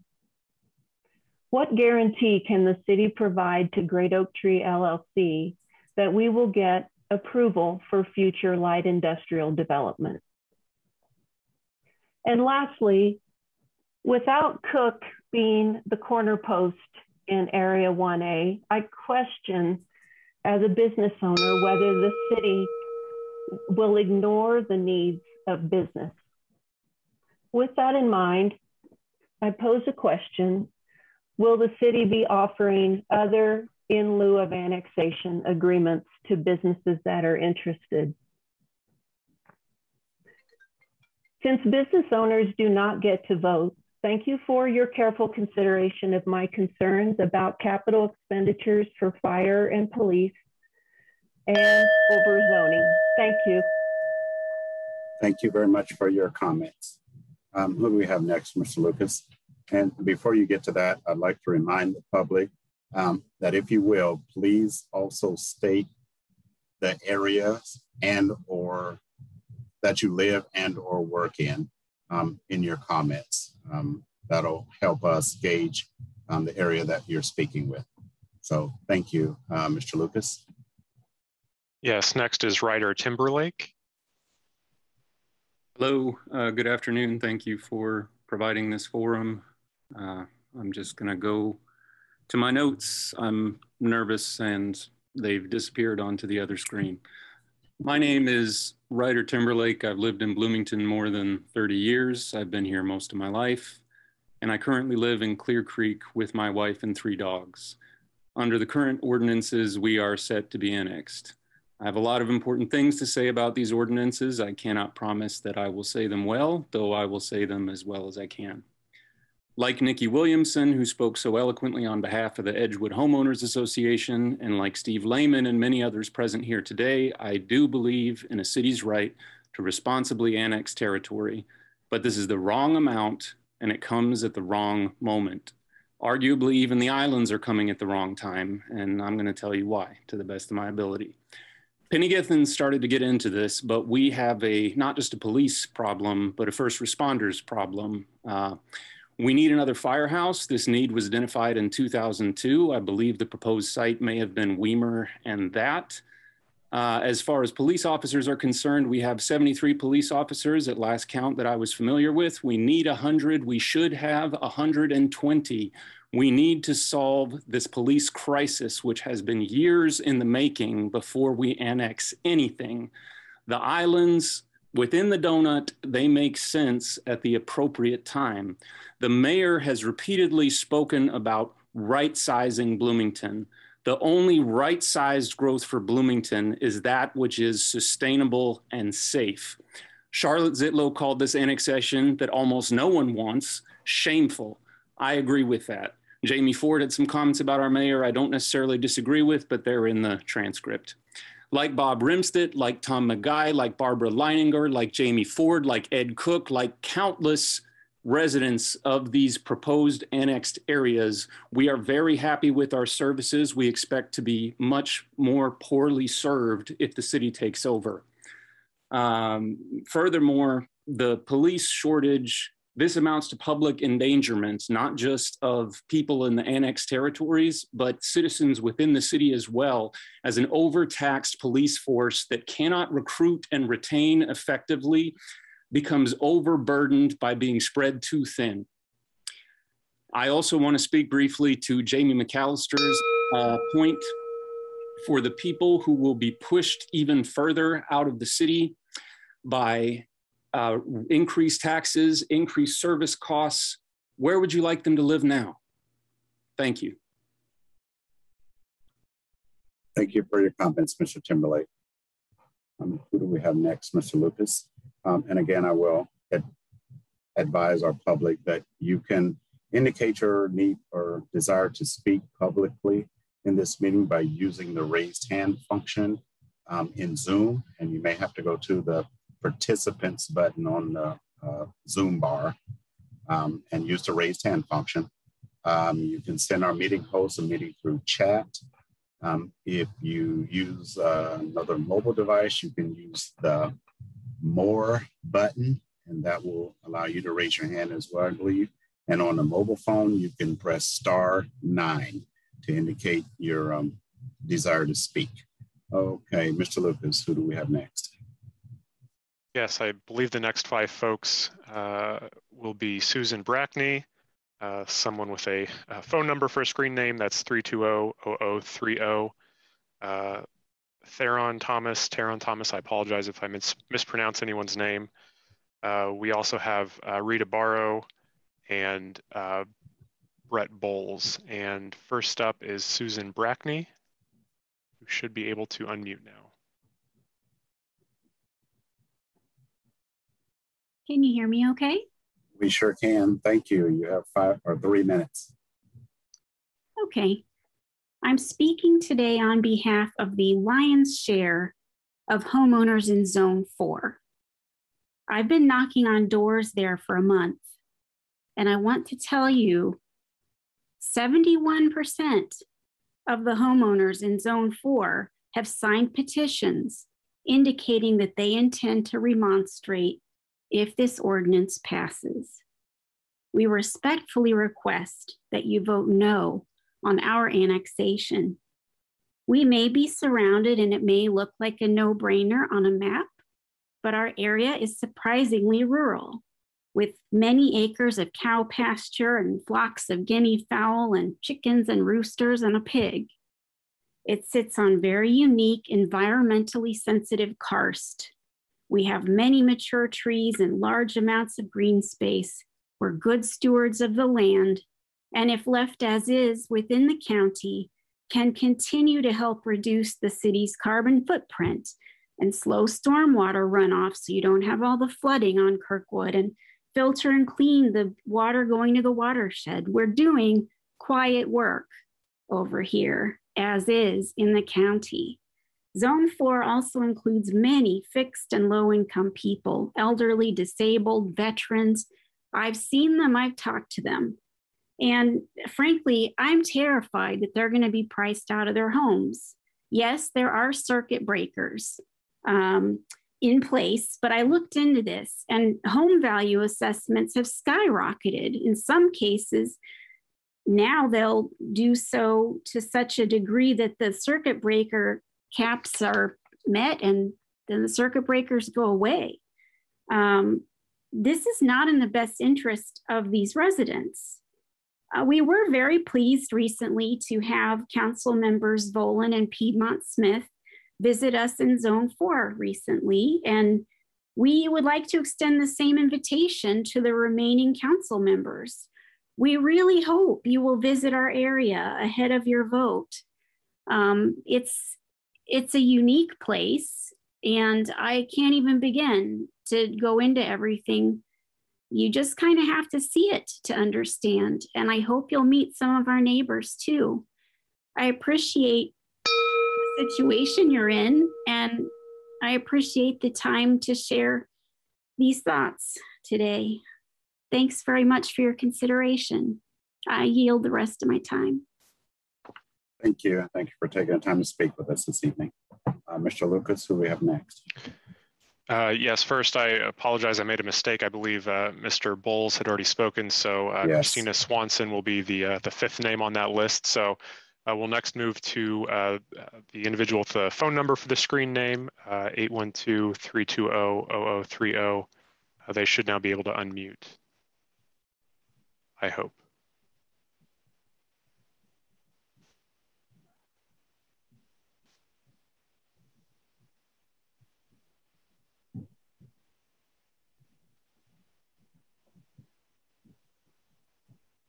Hello. Hello, how are you? Uh, hi, I'm fine. I, I do not need to speak. I'm on Heritage Woods Road and I accidentally pushed those buttons when I was putting the phone in my pocket to continue listening. So I will not need to take any more of your time. Thank you. Well, thank you very, very much. Mr. Lucas? Yes, thank you. Uh, next up is uh, Theron Thomas. Theron Thomas, apologize if I'm mispronouncing your name. Uh, you should now be able to unmute. All right. Are you able to hear me? Uh, sure am. Right? Yes, we do. You have three minutes. There. Yeah, it is there. And thank you, Mr. Sims, and to everybody else on the council for allowing us to speak. There's very little that I can echo on this. I do have some concerns. Uh, you know, I've lived in Bloomington all my life. I'm 55 years old, and I, have seen a lot of uh, good things come out of Bloomington, and a lot of poor decisions also. Uh, and that's a, obviously a personal opinion. Uh, but I've had a lot of friends work in the city government and seen how things kind of work. And you know, on a personal level, it bothers me that we have so much representation on the council who are also under the payroll of Indiana University. Um, that that bothers me personally, and I, I, don't think that it's right. Obviously, those positions are up for grabs, so I'll I'll uh, move away from that subject. I live in the uh, according to the paperwork that I got the Southwest B section. I'm over on Danlin Road, just on the other side of Highway 37, off of Tapp, and uh, I've had considerable battles with the county. Uh, I think what I really want to say here is this: is that um, my my personal issue is I'm a disabled individual, and uh, uh, my uh, neighborhood was built without sidewalks. It doesn't meet ADA standards. The county decided to deny taking us into inventory, wouldn't plow our roads or anything until the I-69 project come in, and then somehow they magically took us into inventory. Uh, we still don't have sidewalks. There was a $50,000 bond cash to put those sidewalks in. Uh, I can't get anybody to answer where that money went, but I'm certain it didn't go towards sidewalks. And it, it harkens back to the city of Bloomington giving away a million dollars to the individual down in Bedford a few years ago. Uh, luckily, that was caught. You know, I believe that person ended up uh, being criminally charged along with the people that, that used the money. Uh, I suspect uh, because of the connection between Bloomington and Monroe County, that's very similar. So it bothers me that um, people with with disabilities uh, appear to be sometimes overlooked, uh, even within Bloomington. And uh, you know, we got plenty of, uh, of parking, or it looks like we have plenty of parking. But even earlier, uh, one of the council members, and I'll, I'll, roll back up through my stuff here. Uh, I don't recall who it was. Said, "Well, you know, people can go to the public library today and, and use it if they don't have connectivity out there. You know, they're they're going to change this meeting." And you know, that just that's that's a prime example of how people don't understand the effects of things like this. You know, if you're going to bring us into the city, everybody else has already talked about the increase of taxes. Got it. Don't want to pay extra taxes without representation. That sucks. Um, but at the end of the day, uh, I don't see Bloomington doing much better than the.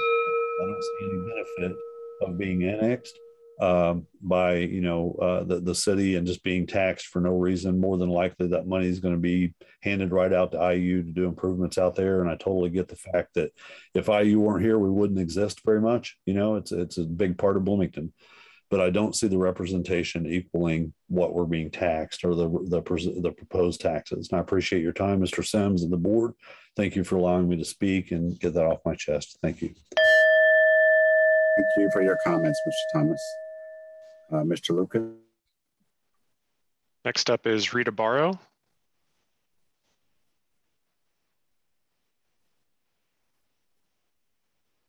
Okay, I want to make sure you can hear me.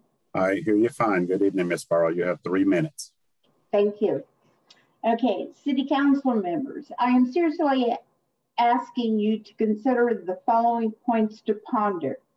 For instance, individuals will not be able to vote in the election 2023 because of the timeline. It is obvious this date was determined knowing this would be an effect on the mayor as well as the city council. Since mayor decided to use the 2017 annex proposal, he should have had more than ready, been more than ready to proceed with the, the annexation in 2023 so people could vote. Also, using the 2019 assessed value does not project 2020, let alone 2024. We consider this, and we, I'm speaking of Van Buren, consider this as taxation without representation. Going through the file given by the city, a considerable number of individuals have sold or are deceased. And because the 2017 files were used to send to homeowners for notification, we would like to see those envelopes that were returned and proof of certification of corrected homeowners. Homeowners, as an example, some homes could possibly be over 200,000 assessed value by 2024.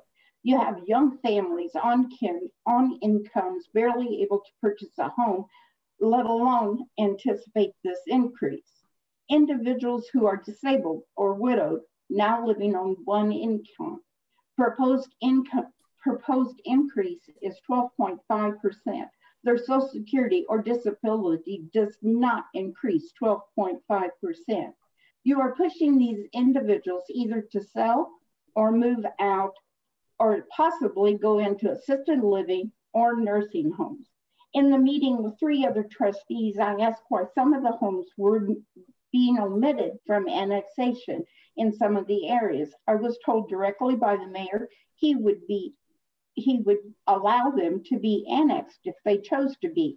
My reply was good because some of them would love to have city sewers. The mayor's reply was, I do not have to commit to city sewers, street lights, or sidewalks. So exactly what are these residents receiving from the tax increase? Trash pickup, you're now going to force the potential annexed residents to receive city trash pickup, which will add to their water bill, not including the additional tax, but an increase in their monthly water bill, forcing small business owners to close. These businesses will either be closing their business I'm sorry, Ms. Barrow, your time is up. Um, could, could you speak on which area, if any, that you were commenting on, or is it multiple areas? It is all the area of Van Buren, which is 1A, okay. 1B, and 1C. Okay, thank you very much. Mm -hmm. Thank you for your comments. Who do we have next, Mr. Lucas? Yeah. Next up is Christina Swanson.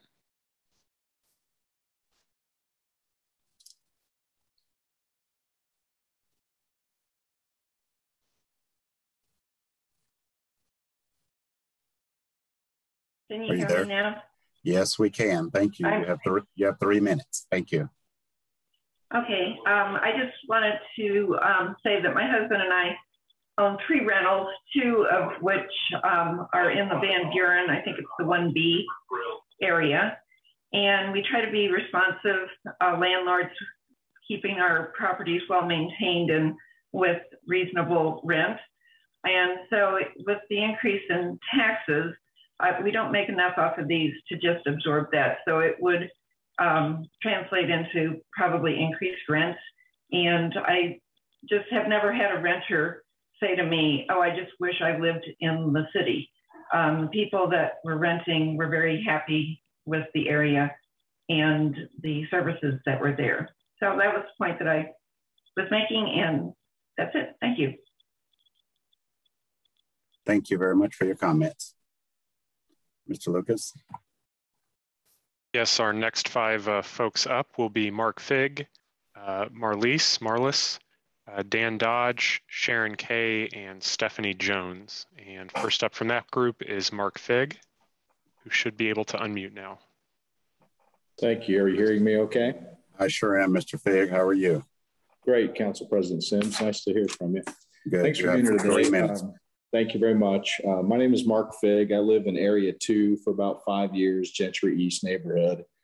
Uh, my taxes will, you know, be going up with this annexation. Um, I've lived in the city for many years as well, you know, prior to this and owned city businesses and property as well.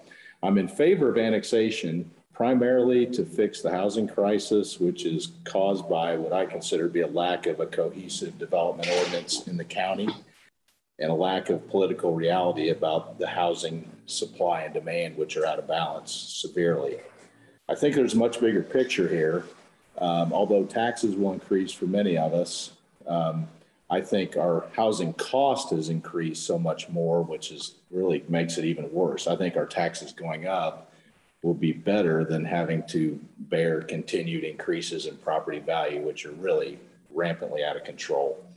Uh, the new UDO that was finished by the Common Council last year is really the best way to fix this supply problem. I'd like to see it be applied in the county as much as possible. The county commissioners and their anti-development voting and anti-development appointed plan commission president have failed to recognize the problem or do anything about it. Uh, the county development ordinance is ancient and no, no new one is in sight. And we just uh, keep kicking the can down the road, which is not solving anything. The city UDO will make more business space available as well, which is also desperately needed. We can sustain the higher taxes, but I don't believe we can sustain drastically increased housing prices that seem to never be stopping. Uh, it's unfortunate that this 17 year dearth of annexation is going to have to happen all at once. But on the bright side, you know, we enjoyed 17 years of lower taxes in these areas that would have been annexed if it wasn't for our Mayor Mark Kruzan, you know, having an anti-annexation mentality. Uh, also, the city controls the infrastructure in terms of sewer, which allows for densification. The county has none. So I would like to see that the city services be able to put into areas where we can have more housing. So my kids and grandkids, and maybe I'll have great grandkids someday, um, can have a home here without it being millions of dollars at that point. So I'm in favor of annexation, and although it's going to cost me money in my own neighborhood, I'd like for you to go faster, not slower. I think the quicker the better, and I appreciate your time. Thank you very much. Thank you for your comments, Mr. Fig. Um, who do we have next, Mr. Lucas? Next up is Marlise.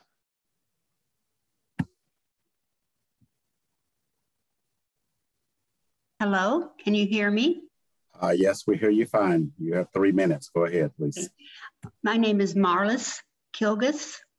I'm retired and I currently reside in Seymour, which is in Jackson County.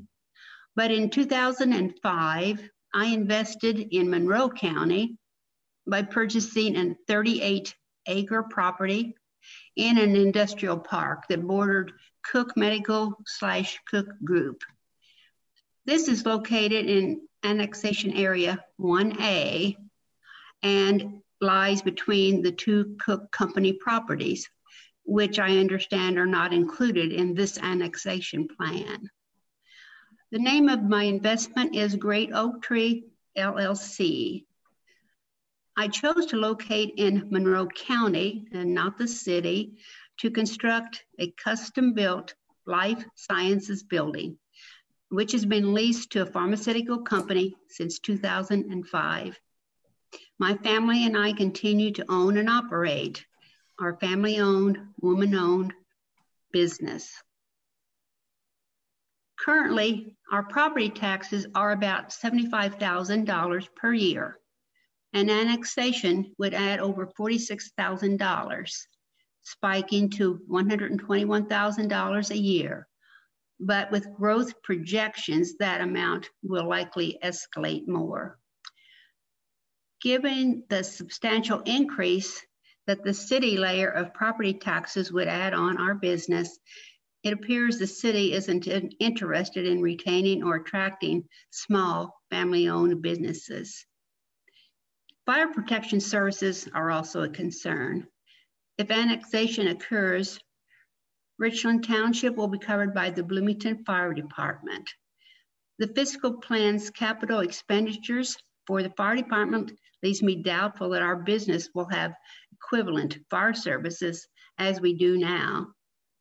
Also, I've witnessed the traffic problems in Bloomington and worry about slow response time if fire engines are coming from the east.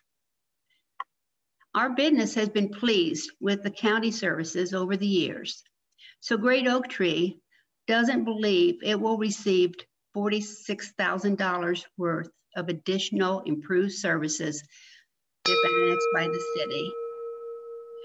I think the annexation plan is massive and uh, needs to be looked into in more uh, definite manner. And I do thank you for your listening to my concerns as a small business owner. Thank you very much, Ms. Kilgus.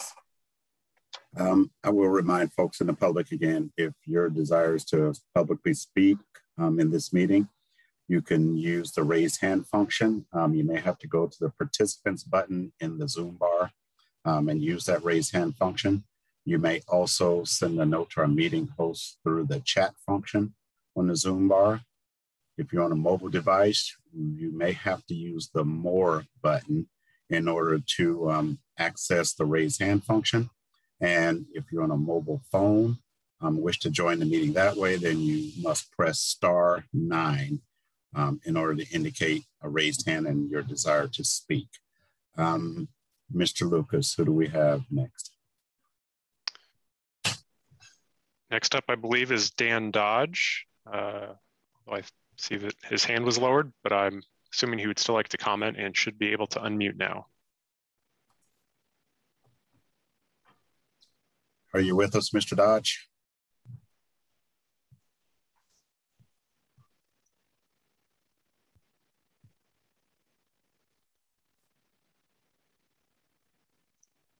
Okay, um, Stephen, I'd say we can move on. Um, keep an eye out if he logs back on, and we can. We can circle back. Uh, next yes. up is Sharon Sharon K.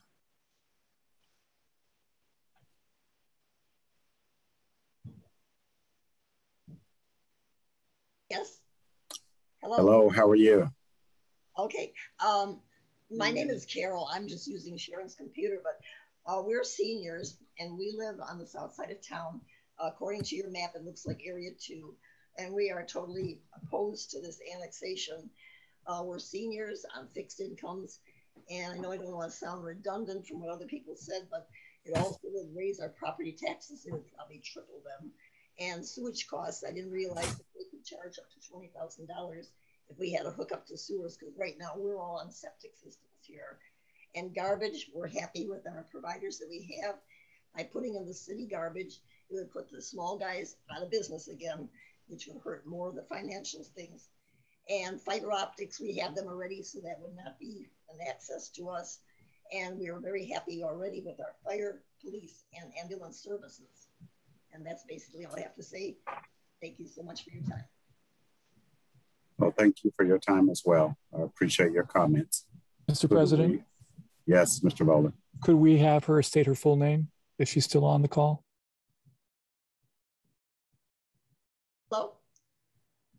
Ms. Sharon, if you don't mind, what is your last name? It was Carol. Oh, this was Carol Benedict. I'm sorry, I didn't hear that. Last name is Benedict. Thank you. Thank you. Thank you very much. What do we have next, Mr. Lucas? Next up is Stephanie Jones. Hi, I'm Stephanie Jones. I live in Area 2, and like a lot of the other residents that have spoke for Area 2, um, we won't see many of the city services and amenities that have been talked about um, when we're annexed in. I don't believe any new sidewalks are being planned for us. Um, where we live off of Snoddy Road, there isn't any way to add any parks in any of these areas. Um, many of us are on sewer um, and don't have the option to hook up to the, or I'm sorry, we're on septic and don't have the option to hook up to the city sewer. Um, and we already get our water from the East Monroe Water Company. Um, so we're already paying for that through our co-op and receiving that. So we wouldn't be getting a lot of these amenities. Um, and by increasing our taxes for the city, it would decrease decrease to the county as discussed. Um, and so we would actually be losing some services with our schools and health department where they would be seeing less of the revenue that they're currently receiving from us. And so for those increased taxes for those of us in area two, it actually feels like there is going to be a decrease in what we would be seeing um, since we aren't going to be receiving a lot of these city amenities. And so we're asking for you to please take this into consideration and potentially remove area two from the annexation as many of us will not see any benefit from having the annexation done. Thank you for your time. Thank you for your comments. Mr. Lucas. Yes, our next five uh, folks up will be Christopher Landvay, uh, Paul Post, uh, Mark and Diane Riggins, and Julie Thomas, and then I believe Elisa Kilgus. And first up from that group is Christopher Landvay. Hello, can you hear me? I sure can. Um, can you pronounce, I'm sorry, I can't see your last name. Can you pronounce your full name? Yes, it's uh, Christopher Landvay. Landvay, thank you very much. You have three minutes. All right. I just want to thank you all for taking your time to listen to me. Um, I live uh, in 1A off of Spriggs, right next to Stone Chase, and I also work in 1A. I'm 35 years old, and I migrated here from Michigan for a job here in Bloomington. I recently bought a home specifically in Monroe County for various reasons, mainly due to cost and the, the rules and regulations that they provide, the services, and uh, I happen to be very close to my job. I earn only a median in- income and I support a family of five all on my own. Any increase to my current expenses may force me to sell my house and provide my family with a decreased living conditions. As I already live check to check, in which this pandemic has not really helped us out much either. Everyone in my community is satisfied with their current services provided by Monroe County and all the other third options, the third party options that are available to us. We have septic and none of us are looking to hook up for the additional cost for the sewer system. Receiving the services from Bloomington would not provide us or not outweigh what we currently already have. So I highly urge you all to oppose this annexation. Thank you. Thank you very much for your comments. Uh, Mr. Lucas. Next up is Paul Post.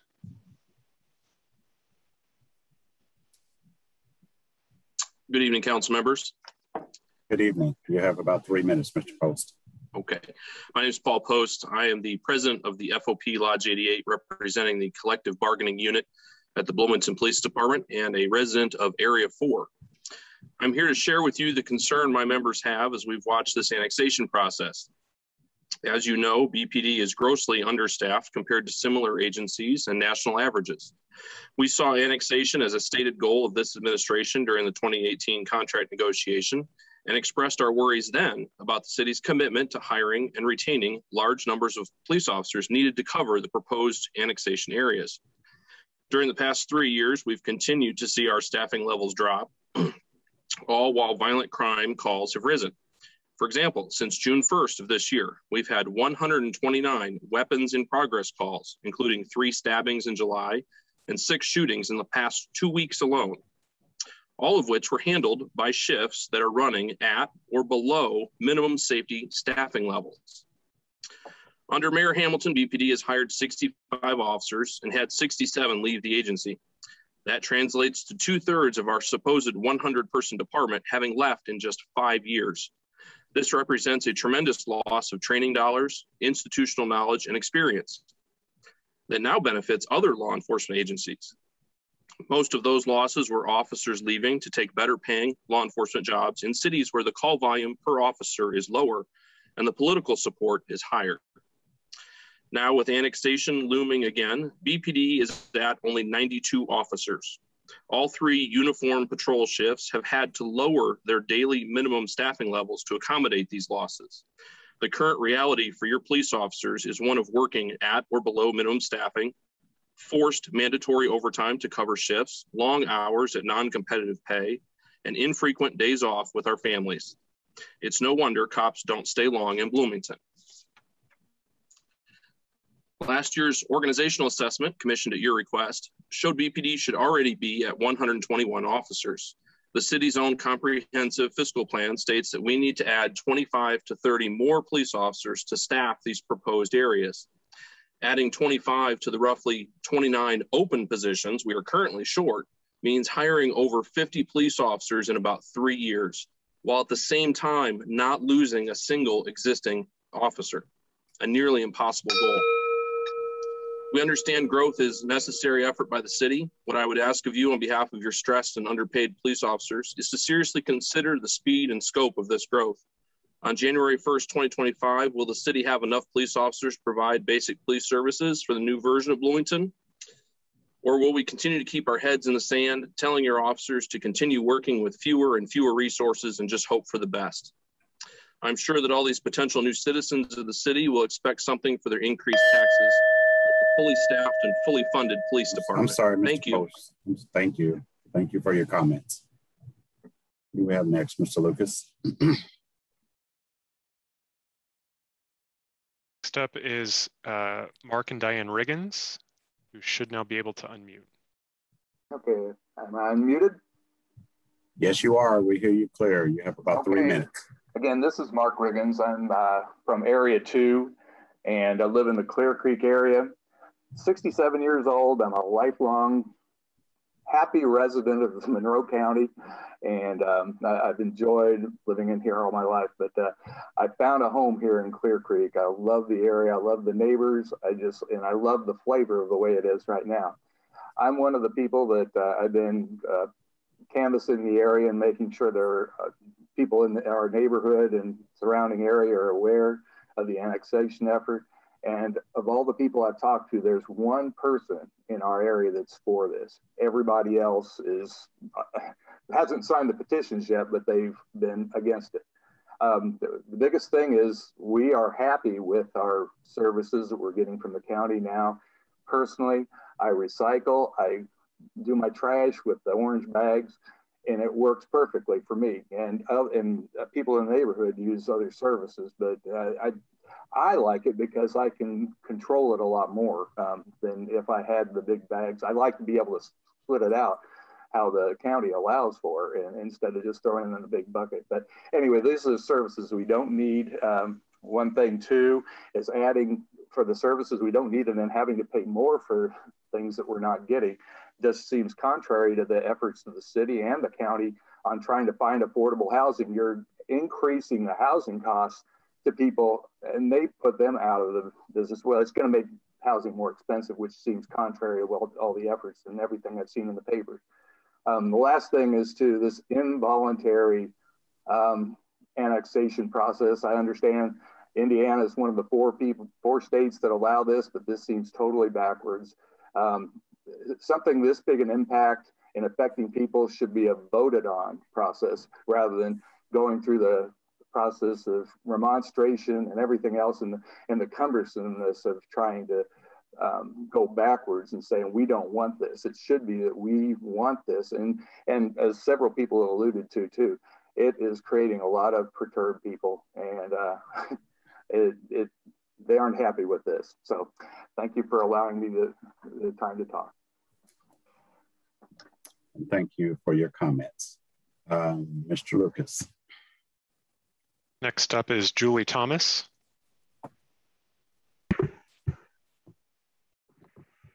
Hello, everyone. I hope you can hear me. Um, Yes, we hear you fine. You have about three minutes. Ms. Thomas. Thank you so much. Julie Thomas, uh, Monroe County Commissioner.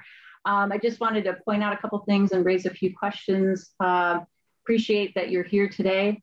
Um, hopefully you've had a chance to review the Baker Tilly uh, report. The report shows some very uh, interesting things, including a $2.7 million annual loss in tax revenue to the county with annexation. In addition, Monroe County Community School Corporation, a $486,000 annual loss. The public library, where people are hopefully zooming in from, a $273,000 annual loss. And the Monroe County Fire Protection District, a $500,000 annual loss. These are just some highlights. Uh, other taxing units will face losses as well, including township government. Um, these, these are all reductions that are higher than the estimates from Reedy, uh, your financial consultants. All county residents, whether they live in the city or in an area targeted for annexation or not, will be impacted by revenue reduction. We've heard discussions of circuit breakers. Yes, they protect homeowners, but they do lead to tax revenue reductions across all taxing units. Uh, consider those on a fixed income or in affordable homes. These tax increases will make these residences unaffordable. Uh, we've heard from renters and seniors who are very worried. Uh, the Baker Tilly report, and they created a tax estimator tool based on the current tax year. Uh, both of those items are available at co.monroe.in.us. We encourage all residents to visit that site. Uh, if any of you have questions about the Baker Tilly report, please contact one of your county commissioners. While some service areas for Monroe County will reduce, for example, road service, most services Monroe County provides will not be reduced uh, after annexation. Monroe County funds a number of important services for all county residents, whether they live in a city, a town, or in a rural area. From weights and measures to health, we know how important that is, from the treasurer to the assessor, from the auditor to the criminal justice system, sheriff, jail, community corrections, probation, courts, youth service bureau, prosecutor, public defender. A criminal justice study was just concluded. How will the county pay for the necessary improvements that impact every county resident? Information provided to residents about the Monroe County Fire Protection District is not an accurate number in the Reedy report. Uh, these costs will be lower in the future rather than higher. Um, we um, want to mention as well the carve outs that were mentioned. If it's bad for some folks in an area, then it's bad for everyone in an area. Please consider that. On the last page of the condensed financial statements recently sent to homeowners, there's a claim that Monroe County has access to $60 million in funding. I would really love to know what that refers to because I don't know anything about it. Uh, thank you all so much for your time and help me find. Thank you for your comments, Ms. Thomas. Um, do we have more, Mr. Lucas? Yes, next up is Elisa Kilgus. Alyssa, you should now be able to unmute.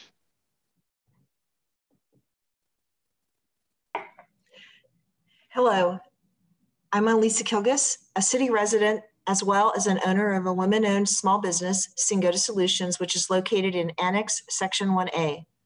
So I have a foot in both camps in this matter.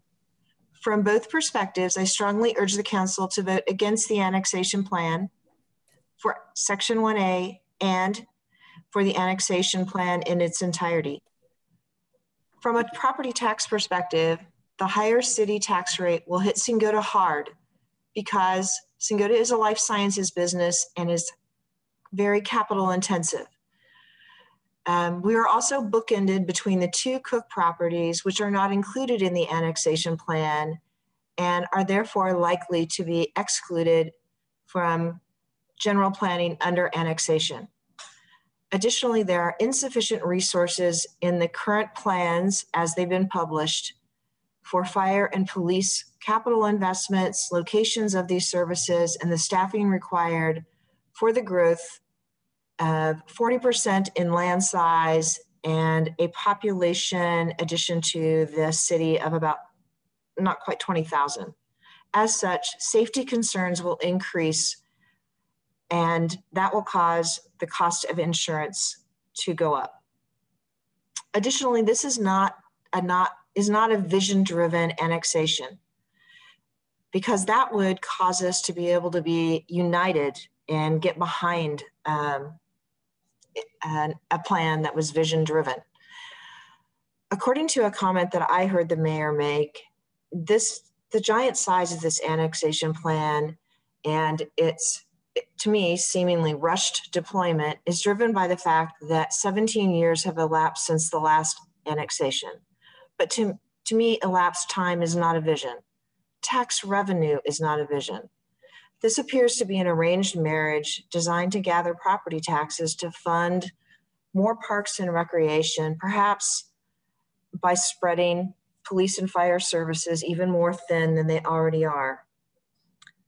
Um, we have, uh, Singota has been in the county and the county has been very collaborative. As a business, we don't get a vote, but we always get a chance to be considered and be a voice at the very collective table. And that is important. And um, that hasn't happened in the last several years from the city. It happened in prior administrations, but it hasn't happened. So we know very little other than what we've read about the annexation plan. And I thank you for letting me speak at this at this council meeting. And thank you for your comments. We appreciate them. Um, Mr. Lucas? Yes, next is Mark Furnish.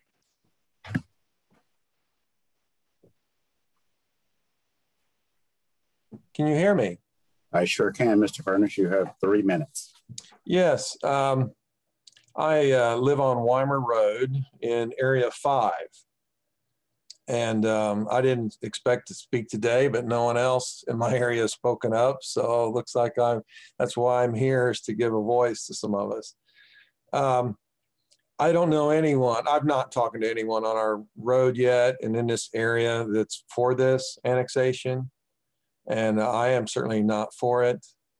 And um, I would say that uh, while some of us, we do receive some city services, uh, we pay for them.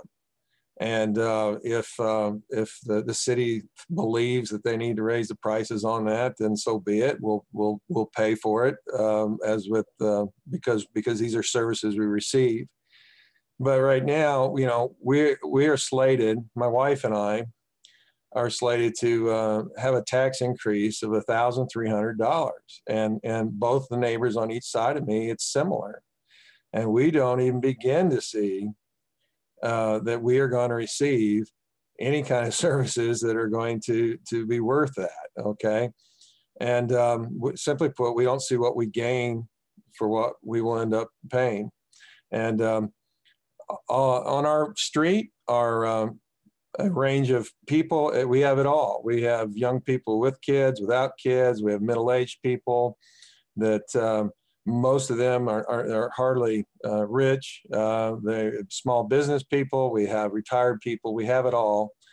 And um, all of them, from their perspective, uh, none of them see them gaining anything from this uh, for, uh, nothing has been expressed that, that, that makes us see that anything will gain from, from annexation. So I will simply say that I'm, I and a few of my other neighbors are, are uh, we're going to do everything we can legally that's given to us to, to fight this and stand against this. And if we lose and we are annexed, um, it is highly likely that there's that my family and others will will be moving uh, moving away and, and um, likely we'll be moving outside of Monroe County. Uh, that's how we, we see this. So anyway, thank you for uh, giving me this opportunity to, uh, to express my views. Thank you. Thank you very much for your comments, Mr. Furnish. Um, Mr. Lucas? That is the end of the list that I uh, see in Zoom. I don't see any additional hands raised. Um, we might want to uh, invite folks one last time to uh, indicate if they've not already spoken to uh, to raise their hand. I do want to uh, try one more time. There were, uh, I believe, four folks that signed in in person earlier today, and that was Joseph Grott, Ken Day, Marcia Johnson, and James McKinney. If any of you are on the meeting and would like to comment, please let us know either by uh, again, raising your hand uh, or sending a message uh, to the meeting host. And I do see one more hand that went up. Uh, Alan Edwards, who should now be able to unmute. Okay, I think, can you hear me? We sure can. Go ahead, sir. You have three minutes. Okay, my name's Alan Edwards. I live in uh, Gentry East. As uh, a lot of people have said, um, you know, we have uh, services that we have paid for and, you know, through, uh, and of course we pay higher than if we were in the city. But um, one of the things that I see is that, um, our taxes are going to go up and there's not a lot that we are going to gain. Uh, we are going to be uh, basically, we don't get fire services, uh, if I understand the annexation information correctly, uh, for I don't know when we would get them for several years. Um, and so, uh, you know, we we would be paying, um, you know, higher tax, and then through, uh, you know, our taxes. It looks like from what I've seen, our taxes are going to be going up quite a bit each year. Uh, so at least that's my understanding of that those, that paperwork. And you know, I'm 60 years old. Um, I pretty much am not going to be making millions. I don't think anybody here makes a, a, lot of money in this area that I live in. And so uh, I'm probably like the other people. You know, if we do get annexed, then I will probably be looking at moving out of Monroe County. Uh, I work at the university, but you know, I guess I can drive. So that's pretty much all I had to say. Thank you for listening. You're welcome, Mr. Edwards, and thank you for your comments. Um, okay, Mr. Lucas, uh, see more hands raised. Yes, uh, next up is Jim Shelton. Good evening, Council. Jim Shelton. Uh, I live in the city, but I'm a member of the county's redevelopment commission. And uh, as a former physicist, I'm a numbers guy, and one thing is driving me crazy. I expressed in at your May meeting that uh, the backup for the uh, impact of the uh, annexation on the county's TIF uh, had no the spreadsheet that was supposed to explain it was was not there. Later, we found out right there was not one and the county sent uh, several representatives, uh, some from Reedy, to our uh, June meeting, and they confirmed that yes, indeed, the numbers in the report that were given to you to the council are wrong, and they're not wrong by a little bit. They're wrong by a factor of four, and they provided uh, numbers that could be analyzed that show instead of three hundred four thousand dollars a year, it's going to be about seventy six thousand dollars a year what's which is great news to the county. But what concerns me is they have yet to update that on their official report that's on the city's website. I, I'm, I wonder have they even provided that information to you guys on the council? Uh, I just think that if you all are going to be voting on something here in a few weeks, you really ought to have all the right data. And maybe they have provided you that some other mechanism. Uh, I don't know and I guess this is probably a nit and all the other things you have to consider. But again, as a numbers guy, drives me nuts. So just wanted to say that and uh, hope you can reach out and get the correct numbers for yourself. Thanks. Thank you, Mr. Shelton, for your comments. Um, who do we have next, Mr. Lucas? Next up is the screen name uh, JG uh, Donatello. Donatello, and they should now be able to unmute.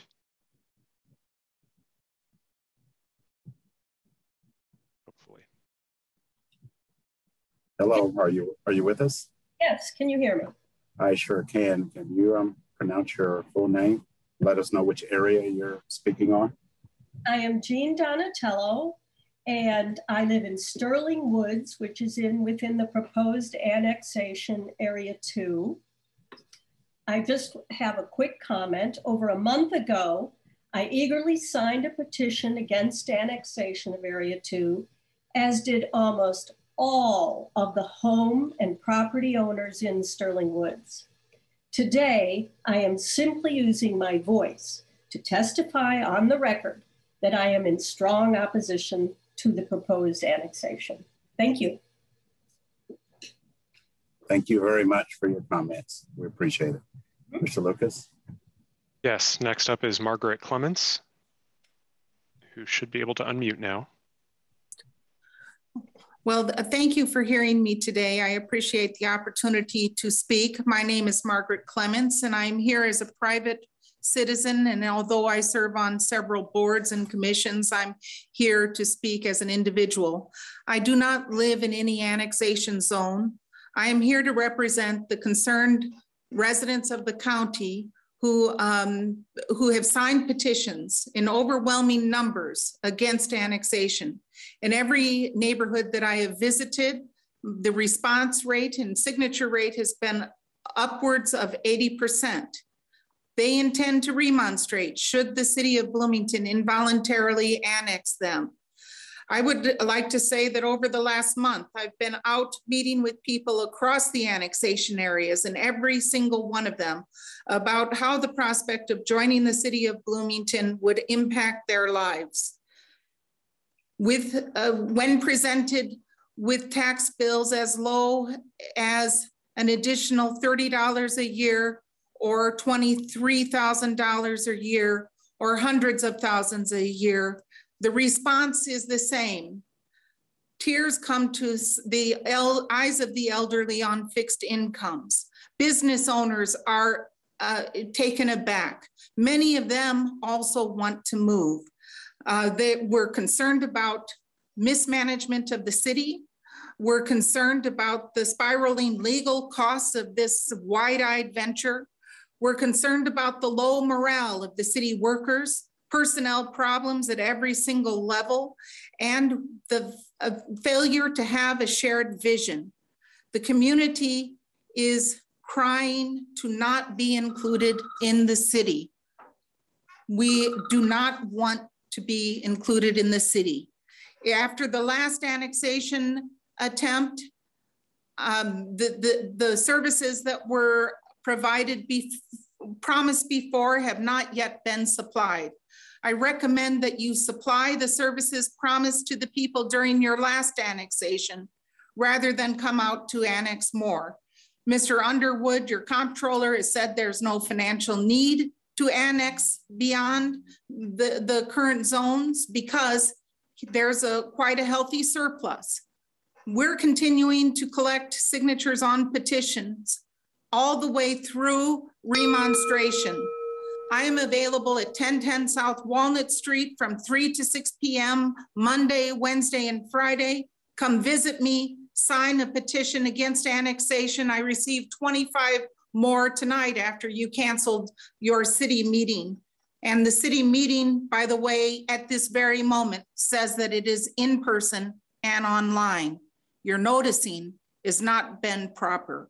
So thank you very much for hearing me. I recommend up with a vision. Thank you. Thank you for your comments. Mr. Lucas. Yes, next up is Colby Wicker. Hello, um, can you guys hear me? I sure can hear you fine. You have 30 seconds, please. I'm sorry, three minutes. Wonderful, wonderful. Sorry My name's that. Colby Wicker, and I am speaking on behalf of County Residents Against Annexation. I'm one of the co-founders. Um, and today I'd like to open my remarks with, with, a, with a simple statement. This annexation hurts real people. And I would like to pose a question to follow that. Who is it helping? Um, I have spoken to many people who will be forced out of their homes. Um, and and I, I don't think that there that, that that should be allowed to stand. People who have lived in their homes and lived in this area for 30 or 40 years are not going to be able to afford their homes anymore. Um, now, some people may say that there's a circuit breaker there that will protect the, those people who are over 65 years of age. But with the rising assessed values, I, I've found that that is um, oftentimes that's going to go away for a lot of people. Many houses in this annexation, in all of the annexation areas, will be over $200,000 in assessed value. Um, I think that there have been enough people here um, who've spoken to the fact that most people are not going to get an even return for their money. Um, but I, I, I, would like to say uh, one thing on, on that point before I move on to uh, my, my plea to the people listening on this call. Um, some people in the city are uh, pretty eager to throw around a, a, term like a freeloader, um, in, in that there are people out in the county who suck up city resources without paying for them. And I, I think that that's just not true. If people are on city sewer, they are paying for that. Um, if they are, and if they uh, consume many city resources, they end up paying for that in some way or another. Every member of the county is paying city taxes in some way or, or another through their local income tax or through other means. Um, but to get off that in, in my remaining time, I would like to make a plea to all members of, of the county and anybody who is going to be uh, affected by this issue. Um, we need your help to go out and to canvass more and to get more signatures. Um, I, I, I, we, of all the neighborhoods that we went, went through, we've gotten in uh, a lot of people who have been willing to sign our petition. The vast, vast majority, as Margaret stated, upwards of, of 80% of all the neighborhoods and all the streets that we have, we've visited. Um, and I, I, want people to know that this uh, annexation is not a done deal. Um, even if the city council decides not to uh, listen to, to the pleas of the people who will be, uh, be affected here, I want them to know that they will um, uh, have an opportunity to remonstrate um, and to get uh, to 65% of people in each annexation area. And if we get there, uh, then this annexation will be stopped for good. Um, but the only way that we can do that is if we come together. Um, so please send an email to stopbloomingtonannexation at gmail.com if you would like to join this effort. Again, that's stopbloomingtonannexation at gmail.com. Thank you very much for your time. Thank you for your comments, Mr. Wicker. Uh, Mr. Lucas? Yes, next up is Susan uh, Welsand.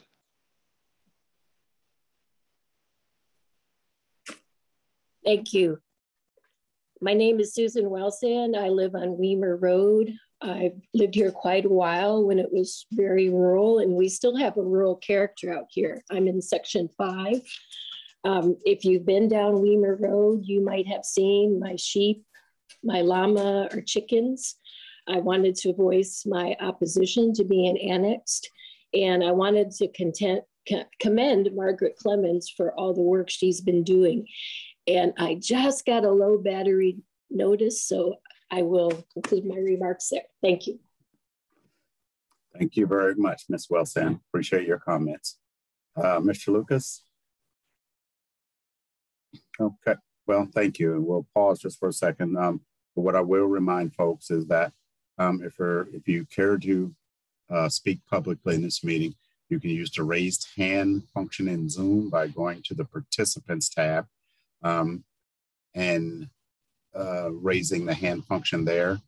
Uh, you can send a notice to our meeting host through the chat function on Zoom. If you have a mobile device, you can use the more button uh, to indicate your desire to speak, and it will use the raise hand function, I believe. And you through a mobile phone, you can use the star nine function. Um, I will also remind other folks this evening that additional written comments um, can be made to the City Council's office by emailing council at bloomington.in.gov. Uh, thank you. Mr. Lucas? Yes. Uh, next up, I believe, is uh, screen name Julie's iPad. And they should now be able to unmute.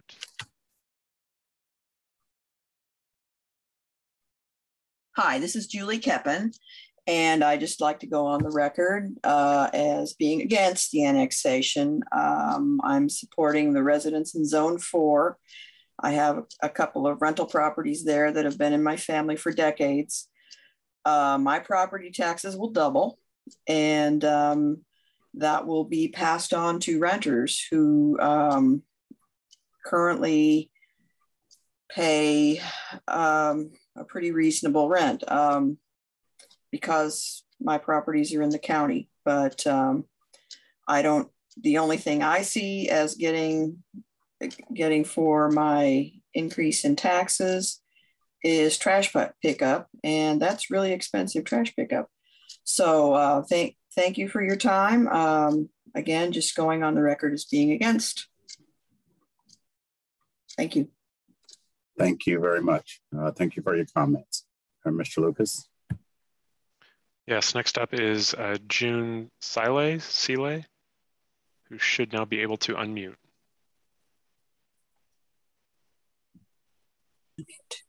Okay, hello, can you hear me?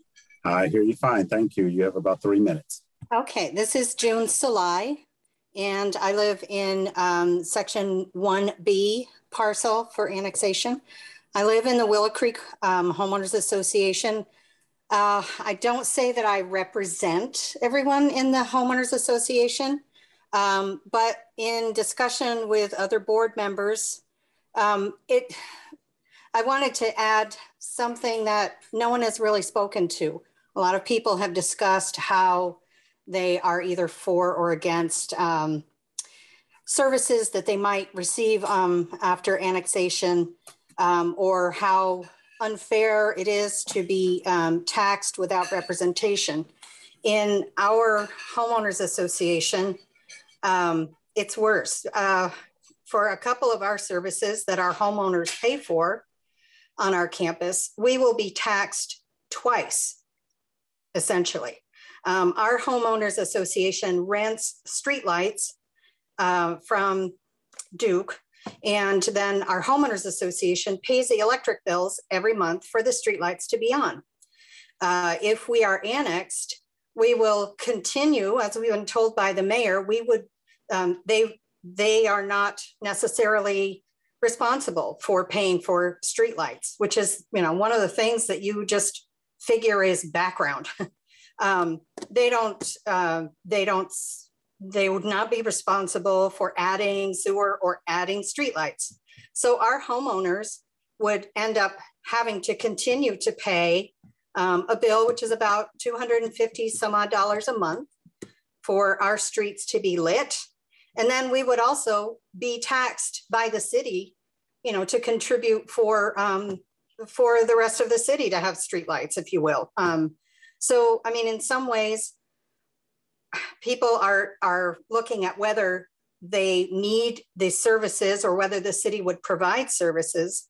But this is an issue where the city wouldn't provide services even if we were annexed, and we would end up paying twice through increase in property taxes.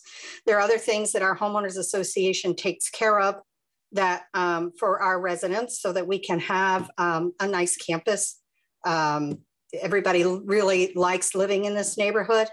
Um, and so, but there are some things that we would end up having to continue to take care of um, while our taxes are increased. Um, I thank everyone for your time and all of this, and I would appreciate it if you would, on my behalf anyway, vote against annexation. Thank you very much. Thank you very much. Mr. Lucas. Next up is Ginger Fouts. Can you hear me now? I sure can, Ms. Fouts. You have about three minutes. Thank you. I just wanted to go on the record this evening to say that um, I live in Woodhaven Estates. We have a beautiful little community here. There are um, lots of senior citizens here beside me, and I know that people have continued to come back to this issue but there are people who are frightened that they may have to leave their home after they had made a choice to live outside of the city. And after having been here for 20 or 30 years, they're very close to, and some have already paid off their home. And this is where they wanted to be for the remainder of their life. And much of their discretionary funds, for some people at least, goes to um, medical issues that they have to tend to, out of pocket expenses.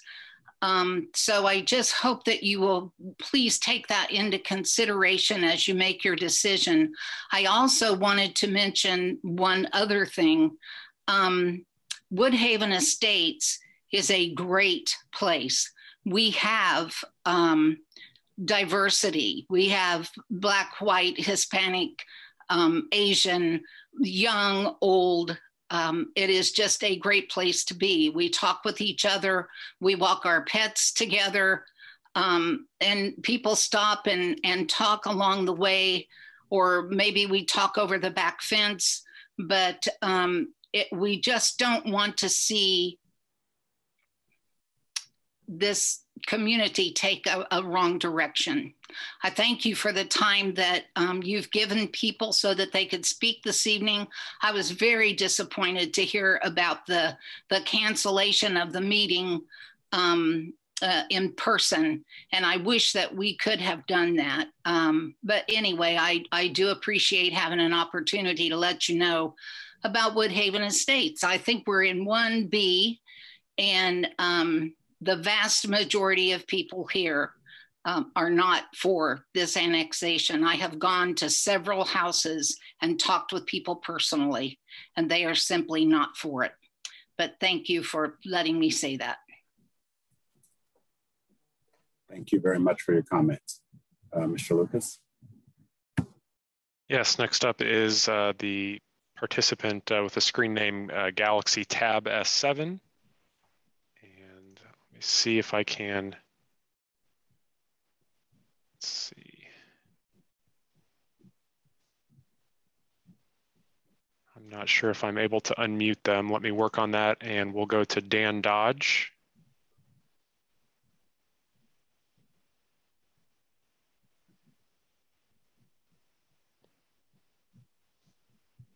And Mr. Dodge should now be able to unmute.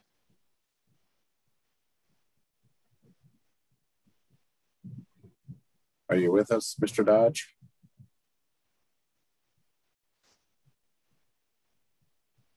Hello. Hi, how are you? I'm sorry, I can't hear you. Hang on. Where was it? It's not, sound Hang on, it's on. You caught me off guard. That's okay. Wasn't our intent. Um, saw your raised hand function. Can you hear us? I can now, yes. Okay, so, can you identify yourself fully and yeah, let us know which Dodge. area you're talking about if you care to? Thank you. Dan Dodge, Area 2. And, and, and I have a comment and probably a challenge of the city. And this has a basis of what's been going on for the last 10 years. We, we have had a drainage issue in the south and in, in our count in our in our Perry, the south part of Perry Township that has to do with drainage. So back on June 19th, we flooded to the point that we had four feet of water in our shop, in our office, and most of our business has been here for nearly 40 years. Prior to us, this property had never flooded. And so my challenge to the city would be is I will accept your annexation but you've got to correct your water retention issue. Otherwise, I have no use for you. Thank you for your time. Thank you very much for your comment. Uh, Mr. Lucas? There is, uh, apologies, there is one hand raised. Um, I'm still trying to sort out uh, whether they can uh, connect to audio. Uh, maybe now we could, uh, th there have been several new folks that have joined the meeting. Um, while we're sorting that out, uh, I see another hand raised. Uh, for any folks that have just joined the meeting, uh, if you'd like to comment, you can uh, indicate your desire to do so by raising your hand in Zoom. some folks may need to click on the participants button in your control bar to access the raise hand button. Uh, for folks on a phone or a more, uh, mobile device, uh, that raise hand button may be under the More option uh, with the three dots. Um, and if you've called in uh, via phone, I believe you can dial star nine to to raise your hand. I also had a message from someone that said their their raise hand button was under the reactions button. So if all of that fails and you would like to comment and can send a message to the meeting host via chat, we will uh, acknowledge you that way. And I do see uh, Deborah Reed and uh, should be able to unmute now. Hello. Hello, how are you? Thank you for tonight. My name You're... is Debbie Reed. Uh, I am representing Reed Quarries, limestone quarries, and this is in the proposed A1 annexation area. In 1956, there were 67 limestone quarries and mills in three counties Owen County, Monroe, and Lawrence County. Now, today, we're down to approximately eight quarries and a sprinkling of mills in two counties, that being our dear Monroe County, which I love, and Lawrence County. My friends, everyone listening, we're talking about a national treasure. We're talking about the nation's building stone. We're talking historical, geological features that are found nowhere else in the world. You can find limestone anywhere in the world Egypt, Canada, Texas, Michigan, etc., etc., etc. But nothing like what we have here in Monroe County, the Indiana Limestone Belt. This annexation will be game changing for Reed Quarries. We offer educational opportunities, Indiana University, the Monroe County School Corporation, and other school corporations come to us frequently and use our site for educational endeavors. This stone, again, is so special. It is the only place in the world that you find the quality and the beauty of limestone, and that's here in the limestone belt. My friends, again, this is game changing. I can tell you this six generations of Reeds and their spouses, so a lot of different names involved. We have been in Monroe County, Stinesville, Ellisville, oh gee, all over Monroe County. And we, we plan on staying here uh, and helping artistically, economically, historically, geo uh, geologically. Uh, please, please understand that this change will be devastating uh, for Reed Quarries. Please help us. Thank you. Thank you, Ms. Reed, for your comments. Mr. Lucas. Yes, next up is Jim uh, Eck, EK, who should now be able to unmute. Thank you. You folks can hear me? Yes, sir. We hear you fine. You have about three minutes, please. Thank you. Probably won't be three minutes. I am one of those folks that does not agree with this annexation proposal. And I just wanted to summarize what we've heard here. As far as uh, my personal uh, property taxes, according to the information put out by uh, the city, my taxes will rise 77% with this annexation, but I expect it'll be higher than that. Now, what do I get um, with the annexation? I'll get uh, that I don't already have. I will get uh, garbage collection uh, from the city, although I uh, will have, still have a monthly cost associated with that. The county does a perfectly adequate job in snow plowing um, road maintenance, the uh, police protection is currently county sheriff and it works. We're not quite down to five minutes in my particular area, but uh, it does work quite nicely. Fire protection, it's funny when this when this annexation process was started, we were told to expect them to build a fire station uh, within a half mile of us, and there's no longer that talk. So, um, short recap we get garbage collection, and that's it. The uh, police department has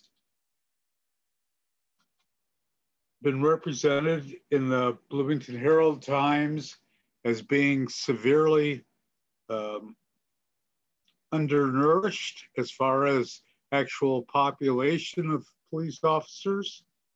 It has a terrible time uh, trying to recruit police officers. So we're just not getting anything. Now, I don't have enough time to go into my example. No, But, you have, uh, you have 30 seconds left, Mr. Heck. I'm sorry. Yeah, but believe me, I never said anything in 30 seconds in my life. Okay, well, I yield the rest of my time. Have a great day and please vote against annexation. Thank you. Thank you, Mr. Heck. And would you care to share which particular area you were speaking on? Um, I am care. in 1B. Okay, thank you. boy. Okay, thank you very much. Mr. Lucas? Yes, next up is the uh, screen name S Long 54.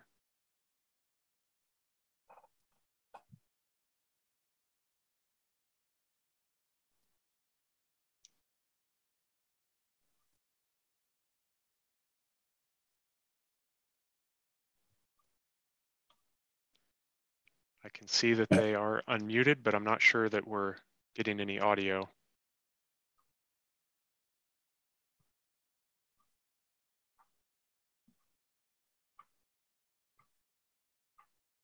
Try that one more time.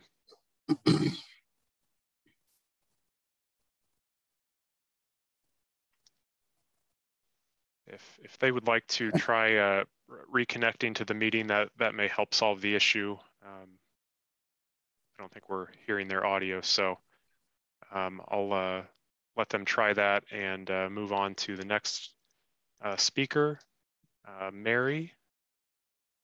And uh, Mary, if you're able to unmute now. Yes, can you hear me? We sure can. Thank you. You have About 30, about three minutes.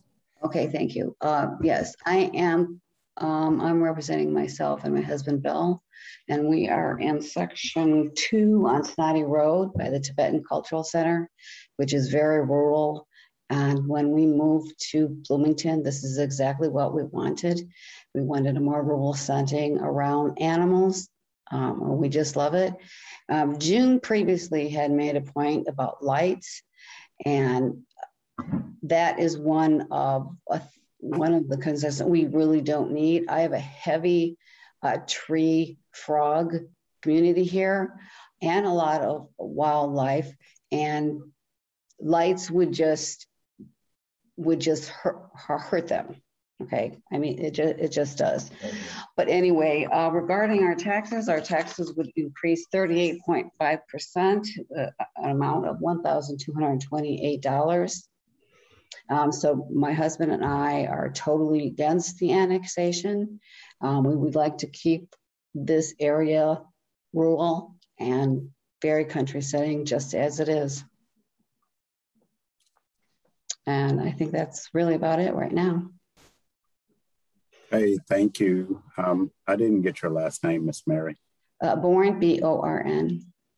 Okay, thank you very much, and thank you for your comments. Okay, thank you. Mr. Lucas? Yes, I'll uh, try again with uh, S Long 54. See if they're now able to unmute. I don't know what the problem was, but I guess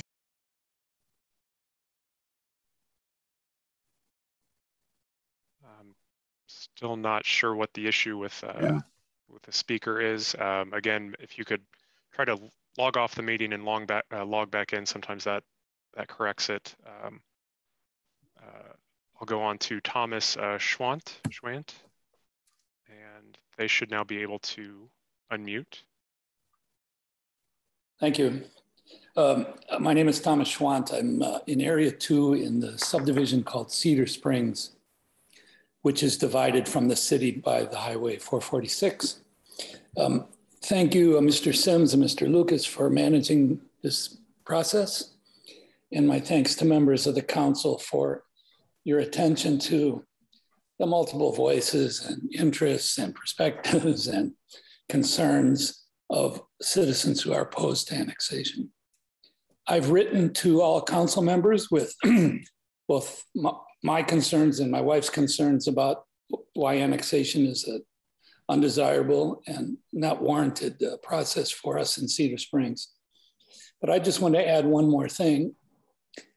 Part of what I do for a living is I advise decision makers in government and non-government agencies and one thing I always emphasize with them is that the decisions that they take must be justified as technically sound, politically feasible, and morally defensible. And I simply would like to encourage all of you on the council to consider all three criteria as you make these decisions about the areas to be annexed. I appreciate your time and attention. Thank you very much. Thank you very much, Mr. Schwant. Mr. Lucas. Yes, next up is uh, Lana Kreider. Yeah, I'm sorry. The name on the phone's not right. My name's Stephen Kreider. That's my wife. Uh, I live in Holland Village in behind Monroe County Bank. We're in one, I'm in one of the islands.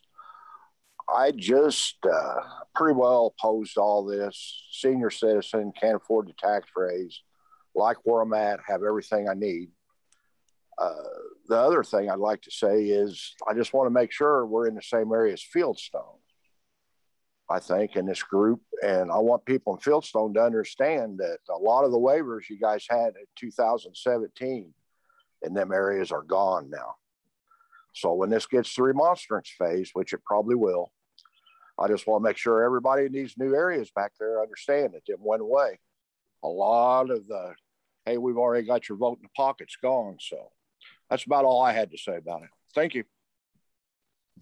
Uh, thank you for your your comments. Uh, Mr. Lucas, did we get S Long back 54? Don't see them in the meeting anymore. And at the moment, I don't see any additional requests for comment. Uh, okay. Um, well, so uh, good time to give folks a chance to still log on if they want. Uh, we will ask that if you care to speak, you can still use the raise hand function in Zoom. Um, and you could reach that through the participants button as needed um, on the Zoom uh, bar. You can also send a message through via chat to our meeting host to indicate your desire to speak. Um, if you're on a mobile device, you can use the more button um, use it to raise the hand function. I believe that's with the three dots. Um, and if you're on a mobile phone, star nine um, is the way to access that way. Um, I will also remind the public that um, you can also send the city council written comments through our um, email, and that's council at bloomington.in.gov. That's council at bloomington.in.gov. Mr. Lucas. I don't see any uh, any more takers for comment at the moment. Okay, thank you very much. Um, then that means we will move on in the agenda to matters having to deal with council schedule, um, if I'm not mistaken. Uh, Mr. Lucas, what do we have on tap?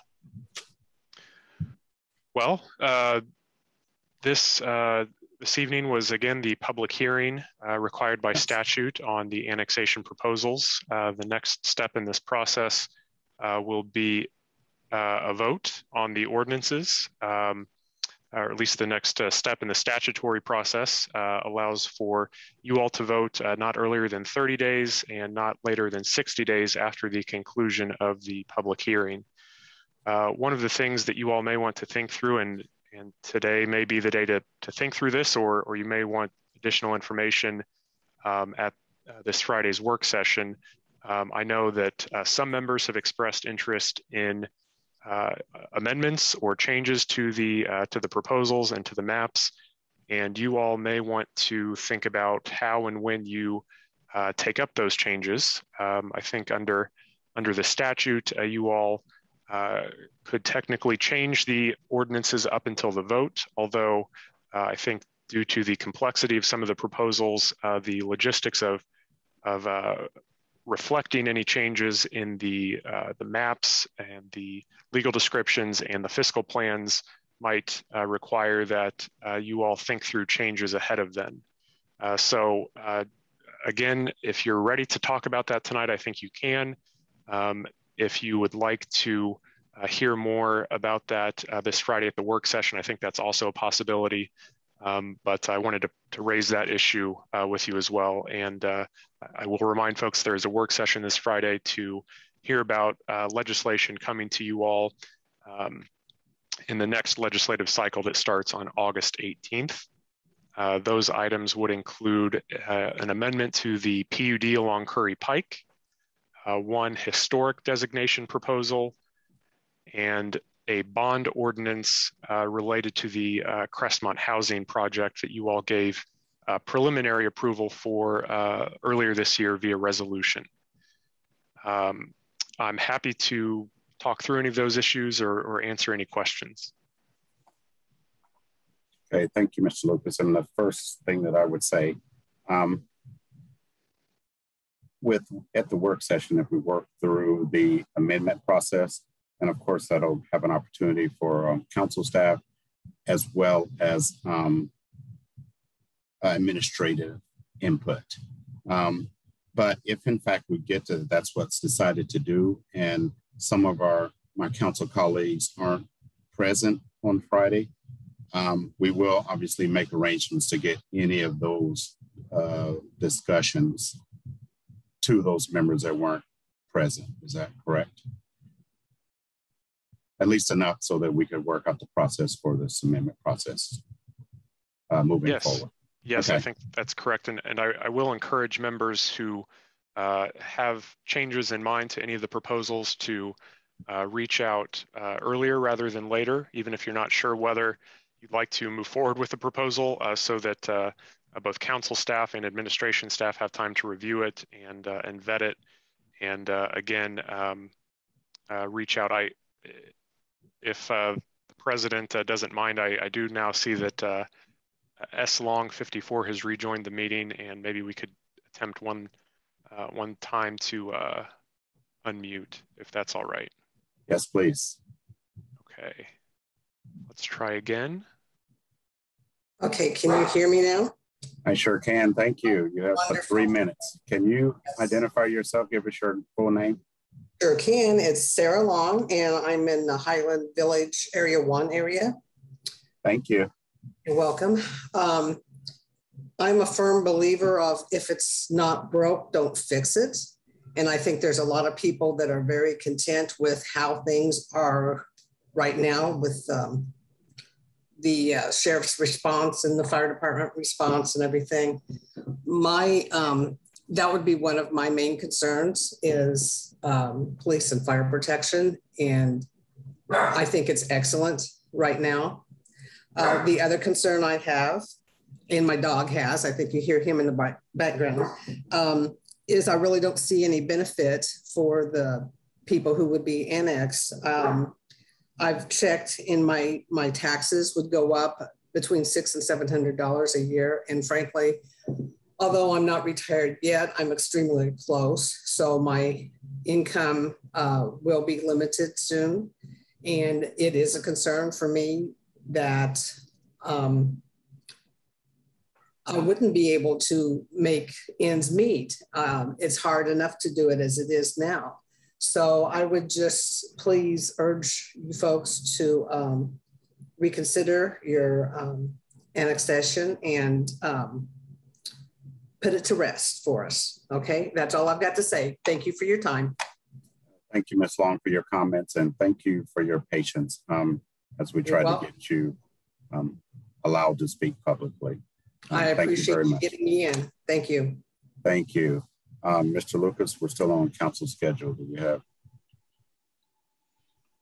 I, I will also I will also note next week is scheduled as a committee week, and at the moment there is no legislation uh, ready for committee discussion next week. Um, that was a Wednesday that uh, the council could look at uh, if it uh, wished to uh, consider amendments that, that may be ready by that time.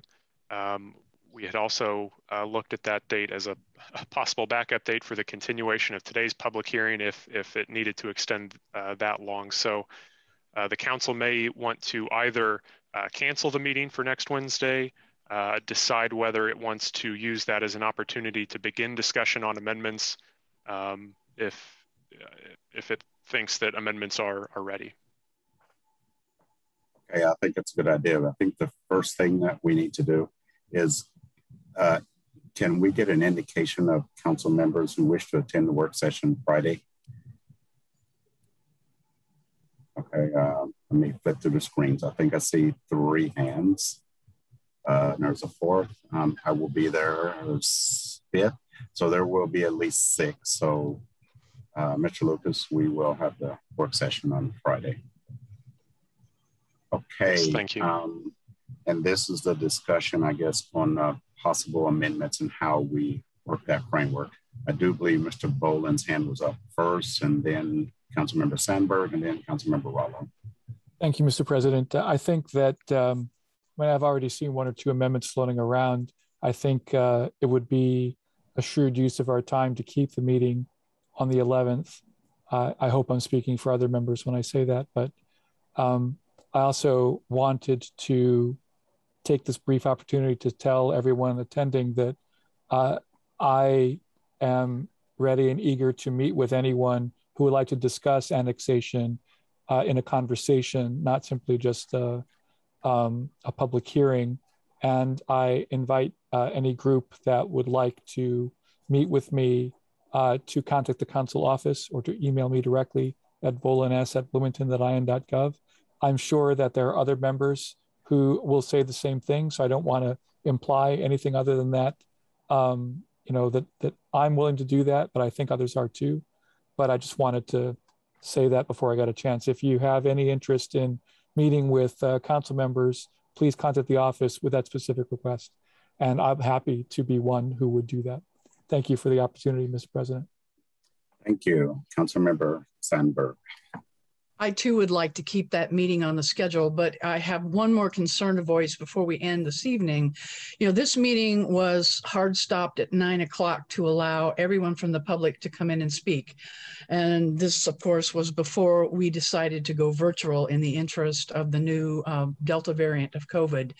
So I do have a concern that there may have been individuals who would have liked to have attended this meeting perhaps in person and who maybe don't have the technology to join by Zoom. And I'm just wondering if there's the will of this council to extend at least one more opportunity if more people don't start joining on tonight to have additional public comment through a Zoom platform where people have a little bit more notice to be able to make arrangements in order to attend that meeting. And I don't know if that could be perhaps maybe the first hour or two of that Wednesday meeting on the 11th before we get to any amendment work, or if you just want to stick around a little bit longer tonight just to ensure that we're giving everyone an opportunity who wants to speak. And, and I agree with Councilmember Volan, those of us who have already been on tours with people and who have been um, meeting with various groups are more than happy to continue to do that between now and, and the time that we will either make amendments or, or make the final vote. So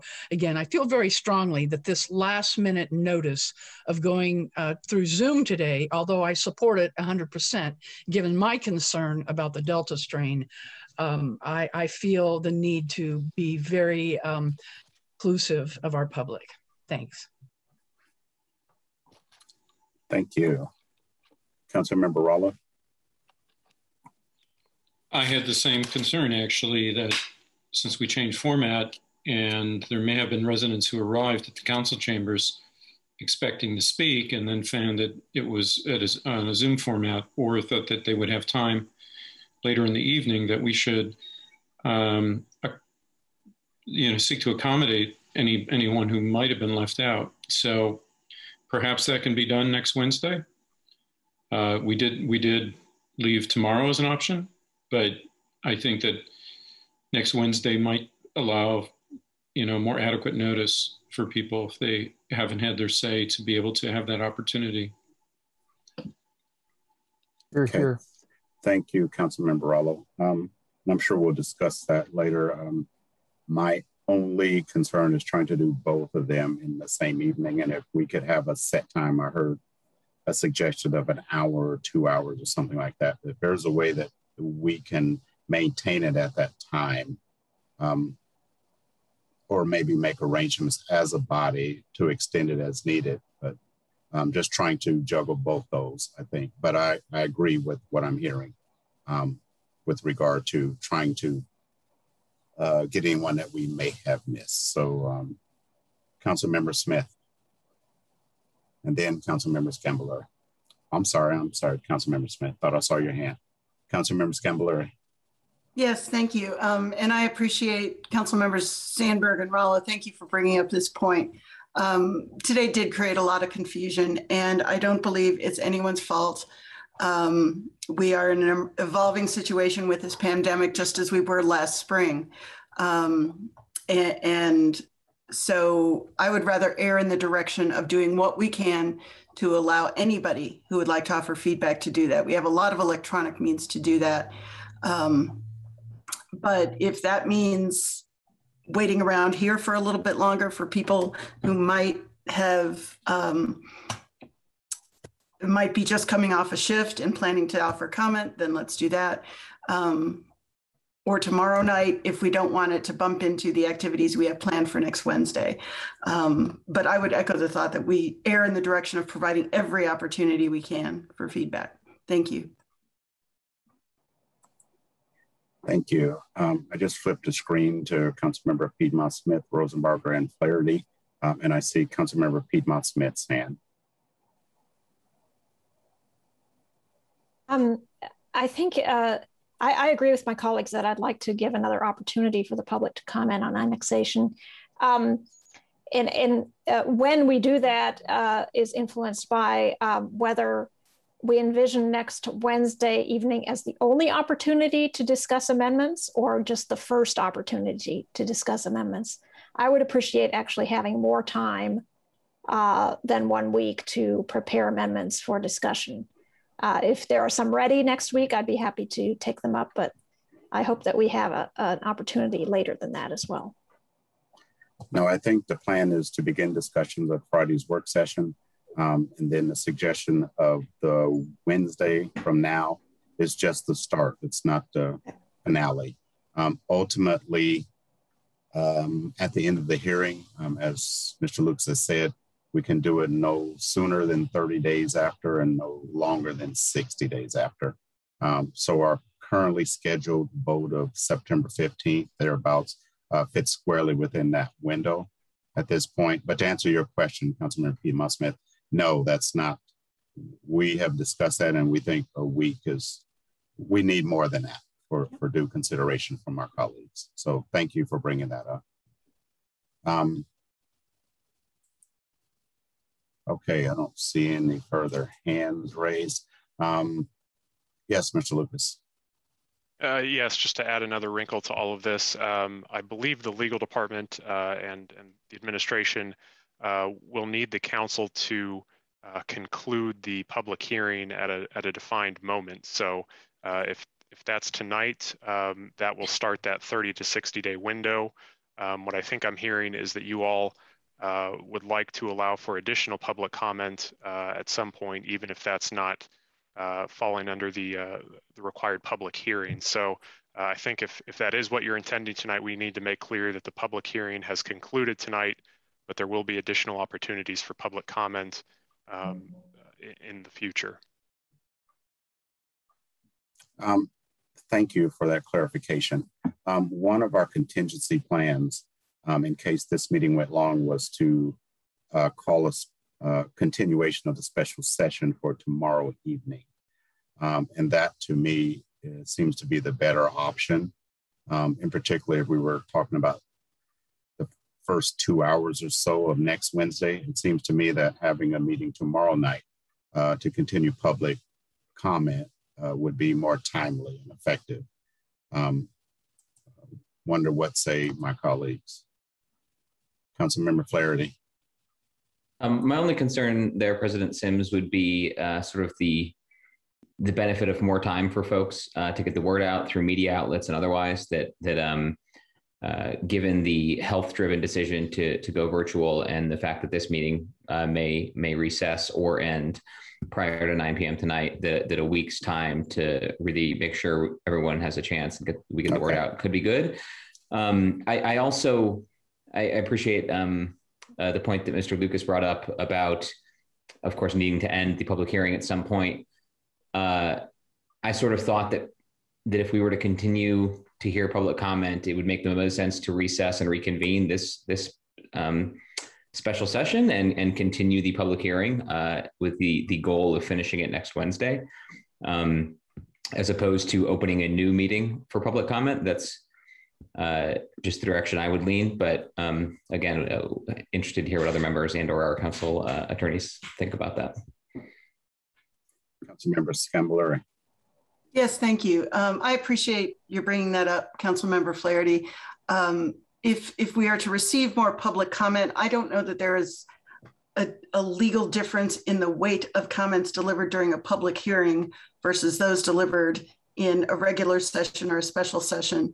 Um, but but if we are if we are to receive more public comment, it seems that for consistency's sake, it may make sense to just recess this public hearing tonight and resume it when we choose when we choose to receive more comment. So thanks. Councilmember Volan. Thank you. Yes. I mean, my question with respect to recessing, because I had the same thought, is does that change the definition of when the public comment, uh, the, the, the, the public meeting ends. Uh, in other words, if we recess to the 11th, does that mean that we have 60 days from the 11th or 60 days from tonight to make the final vote? Mr. Lucas? I believe the the clock starts to run at the conclusion of the public hearing, and, and you may want to uh, invite uh, either Philippa Guthrie or Mike Rouker to chime in I know we also have outside counsel, but uh, I believe the uh, window for voting is tied to the conclusion of the public hearing, which makes it important to conclude the public hearing at a defined moment. And uh, um, again, I know we've got uh, corporation counsel and uh, other Ms. city Guthrie? attorneys on the call. Yeah, Ms. Yes, Guthrie, what do you um, say? I would advise that you close the public hearing tonight. It doesn't change the fact that you uh, want to have additional public comment and you can do that at, at a regular meeting or another council meeting if you want. But that does dictate the, the 30 to 60 day period. And you have already scheduled um, the time that you want to evaluate the ordinances and possibly vote. And that would be September 15th. So unless you want to extend the timeline, but I mean, it, it's out there and it's been advertised and Well, uh, the, the concern that several of my colleagues have, have said it is about uh, the handling of amendments. Um, while I think that we can, we might be able to take up an amendment or two next week, um, you know, between now and next week is not really much time to create amendments. So Right. uh, an extra week in the process might be beneficial. What do you say to that? Uh, well, it's up to you what you want to do with the schedule, but um,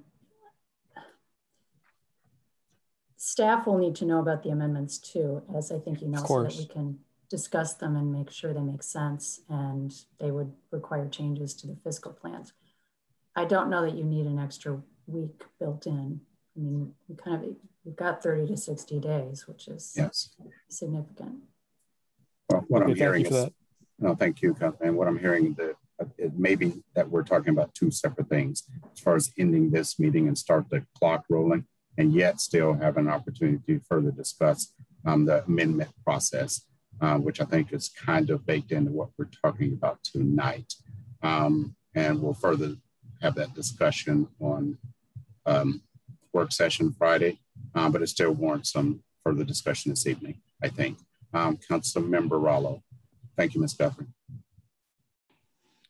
I concur with uh, Councilmember Flaherty and I believe uh, Councilmember Volan that we should extend the public hearing uh, to next Wednesday. We shouldn't uh, we shouldn't close that this evening. That affords us more time.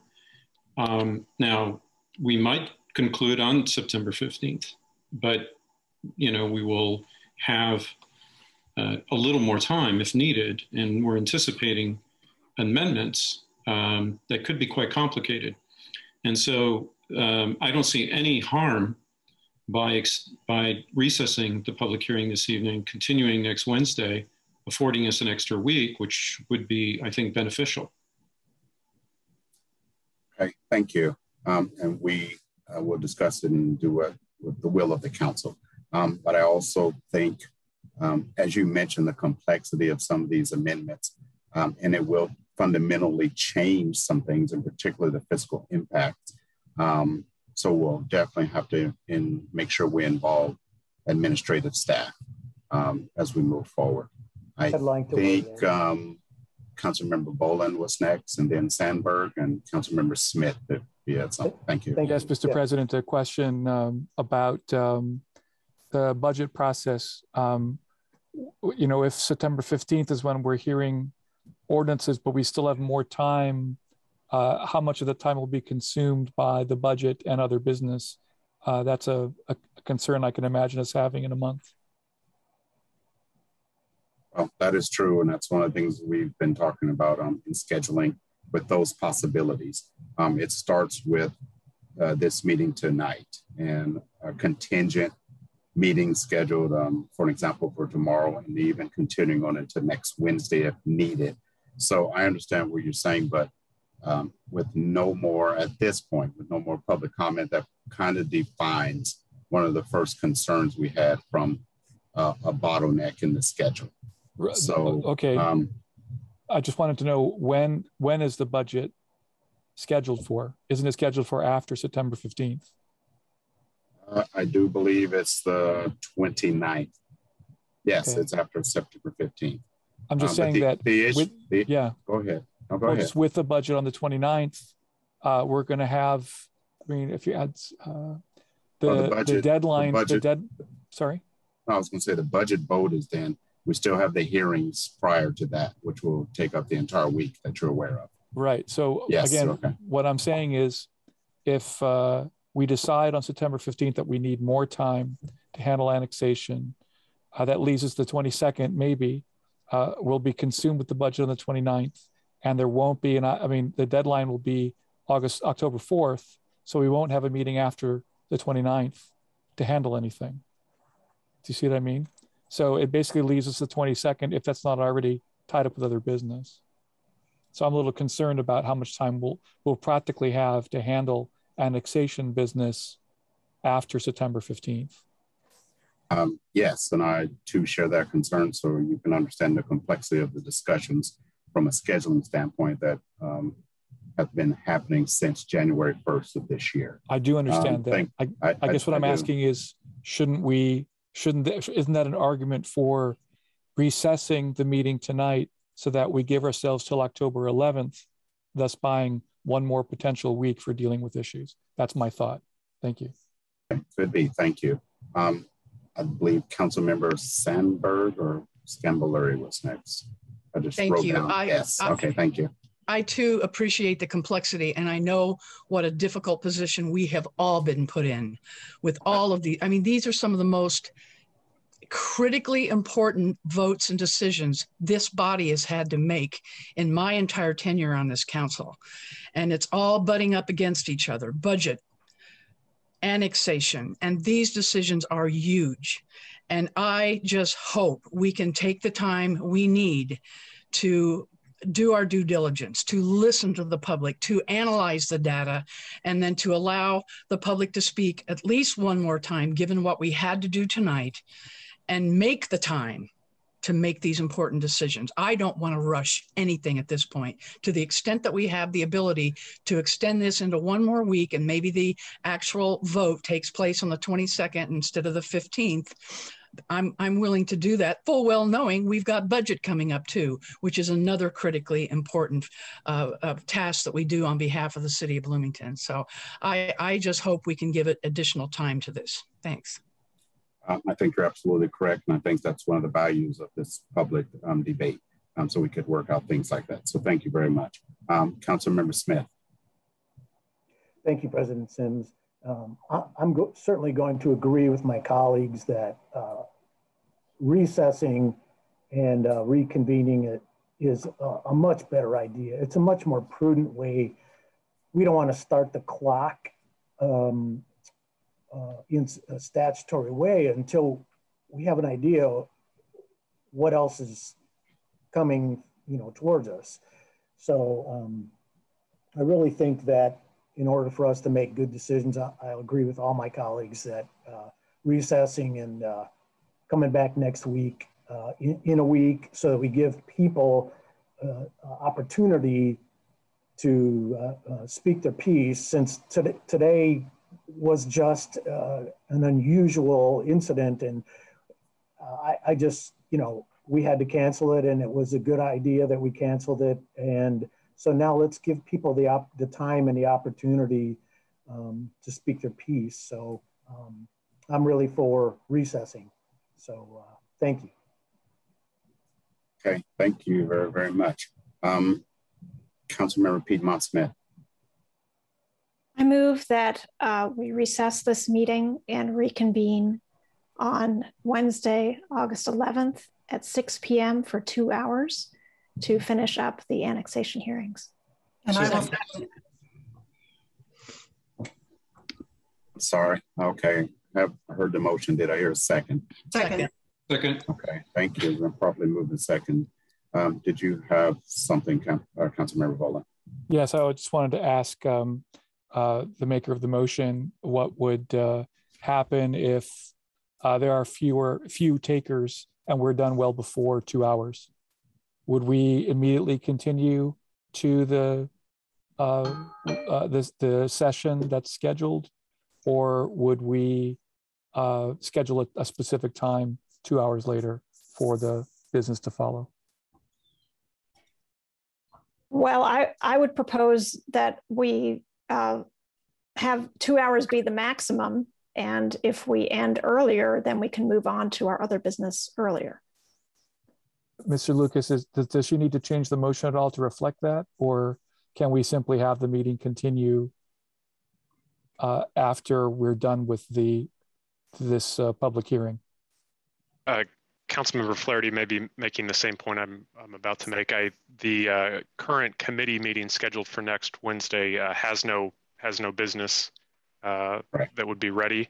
So I, I think what uh, you all might want to do is uh, rather than hold a committee meeting next week's, uh, recess the special session, reconvene next Wednesday in lieu of that that scheduled committee meeting. And uh, does that mean we could simply could we also take up amendments after the public comment period is over during that same meeting? I, I think you could if if there That's are great. amendments That's, ready to discuss. That's great. Thank you. Councilmember Flaherty. Yes, I was uh, thinking some of what Mr. Volan just mentioned, um, which is that we could um, leave the end time open ended if uh, there was no yes. objection to an amendment to the to the motion. And in particular, I also think that we need to uh, pick up public comment essentially and input essentially where we left off. Um, so folks who've already spoken would not be allowed to speak a second time, but anyone who in the possibility that we have more than two hours worth of speakers next Wednesday, I think we absolutely need to hear them all out at that point. So I, I would I hesitate to set an end time for that reason. And I think if we just start a set a beginning time and uh, we could update the agenda uh, in order to uh, include possible discussion of amendments if, if time allows. Uh, I, I, sorry. I'll, I'll stop there. Okay, did you have something, Mr. Lucas? Um, if not, no, Councilmember Piedmont, that's all right. Councilmember Piedmont Smith and then Councilmember Sgambelluri. Well, I was just going to volunteer to amend my motion to uh, ha um, have a start time of 6 p.m. on August 11th and no set end time. I think I would okay. need another second. Second that. Okay, thank you. Thank you. Council, Councilmember Sgambelluri. And so just to confirm my understanding, we would convene in a special session, continue the public hearing, end the public hearing at some point, and then just continue in the special session. Is that accurate? That's a Mr. Lucas or Mr. Flaherty question. Councilmember Flaherty. Um, no, so first of all, just to clarify, we would be reconvening the same special session we're currently in. So we'd simply be in recess and then reconvene. I think what would, at least what I was suggesting, is that we would continue uh, any conversation about p- potential amendments as part of the same special session before uh, adjourning and concluding the special session at some point that evening, whether we've had discussion amendments or not, assuming we've heard from everyone who wants to speak. And that would conclude the public hearing on the August 11th date. Uh, just one final note related um, September 15th, of course, still falls within the 30 to 60 day window of uh, August 11th. So, so we haven't messed up that date, so to speak, if, if we did want to use it in the future. Okay, thank you. Uh, no, that date would still be intact, um, but I think um, the length of time that we may consider amendments with regard to the work that administration would have to do um, after that could have some impact, uh, but certainly feasible. So thank you very much. Um, Councilmember Volan. Yes, I would ask uh, Councilmember Piedmont Smith if she wouldn't object uh, too much to leaving it at our normal start time of 6.30 rather than 6 o'clock.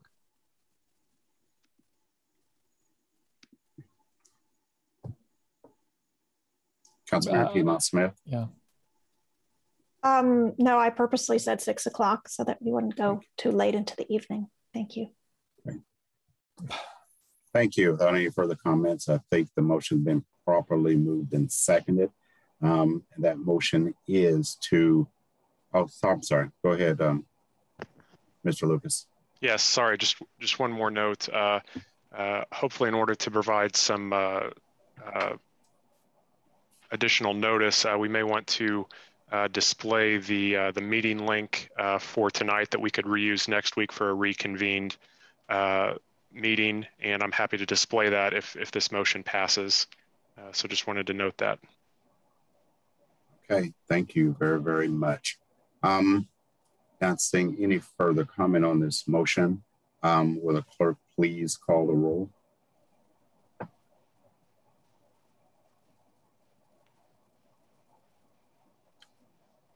Is the clerk still with us? There she is. All right. I just, I had a question for Mr. Lucas. Would the note about the uh, Zoom link need to be included in the memo? Uh, yes, we. I can I can talk to you about what would be needed in the memo. Okay, thank you. Okay, um, where are we? That'd be Councilmember Sims, Yes. Flaherty, Yes. Piedmont Smith, Yes. Smith, Yes. Sandberg, Yes. Rollo, Yes. Volan, Abstain. Rosenbarger, Yes. And Sgambelluri. Yes. Okay, thank you. Okay, thank you. That motion passes eight zero one, um, I believe. Um, Councilmember Flaherty, now with regard, we're looking for a motion just to recess with plans to reconvene, or do we just adjourn this evening? That that was the motion, and no need to adjourn. We are not, we are now recessed. Uh, we will be reconvening on August. Go ahead. I'm sorry. Yeah, August 11th at 6 p.m. And I believe perhaps the um, uh, Council Attorney Lucas wanted to display the link for the benefit of the public as well. Yes. Okay. And while he's doing that, um, uh, be, and before we adjourn, I would like to um, just let the public know that uh, the decision to uh, move to virtual tonight um, had a lot to do, but mainly with the health and safety um, that we uh, possibilities of having an in-person meeting um, with with some of our um, health emergency situations um, that we're dealing with. Um, I know it was not ideal. I know it created some other things and some discussion this evening. Um, but I, as president, ultimately makes those decisions. I pretty much stand by those. And I think it was evidenced by my colleagues with the vote to do the same. Um, so I do, did not wish to create any extra um, confusion. Um, but I think, and again, I think my colleagues agree that that was probably the best move long term uh, while we're in the middle of a health um, emergency situation. Um, so thank you very much. And without any further ado, um, Mr. Lucas and Mr. Flaherty, unless I'm incorrect, this meeting is now adjourned. Not adjourned, just recessed. just recessed. in Thank fact, we've already recessed. We're, we're not Okay. technically in a meeting anymore. So we'll see you all. Fantastic. Well, what I just said still still means it still matters, right? I'm just joking. Thank you all for your input and um, look forward to more fruitful discussions on um, our legislation. Thank you very much and good night.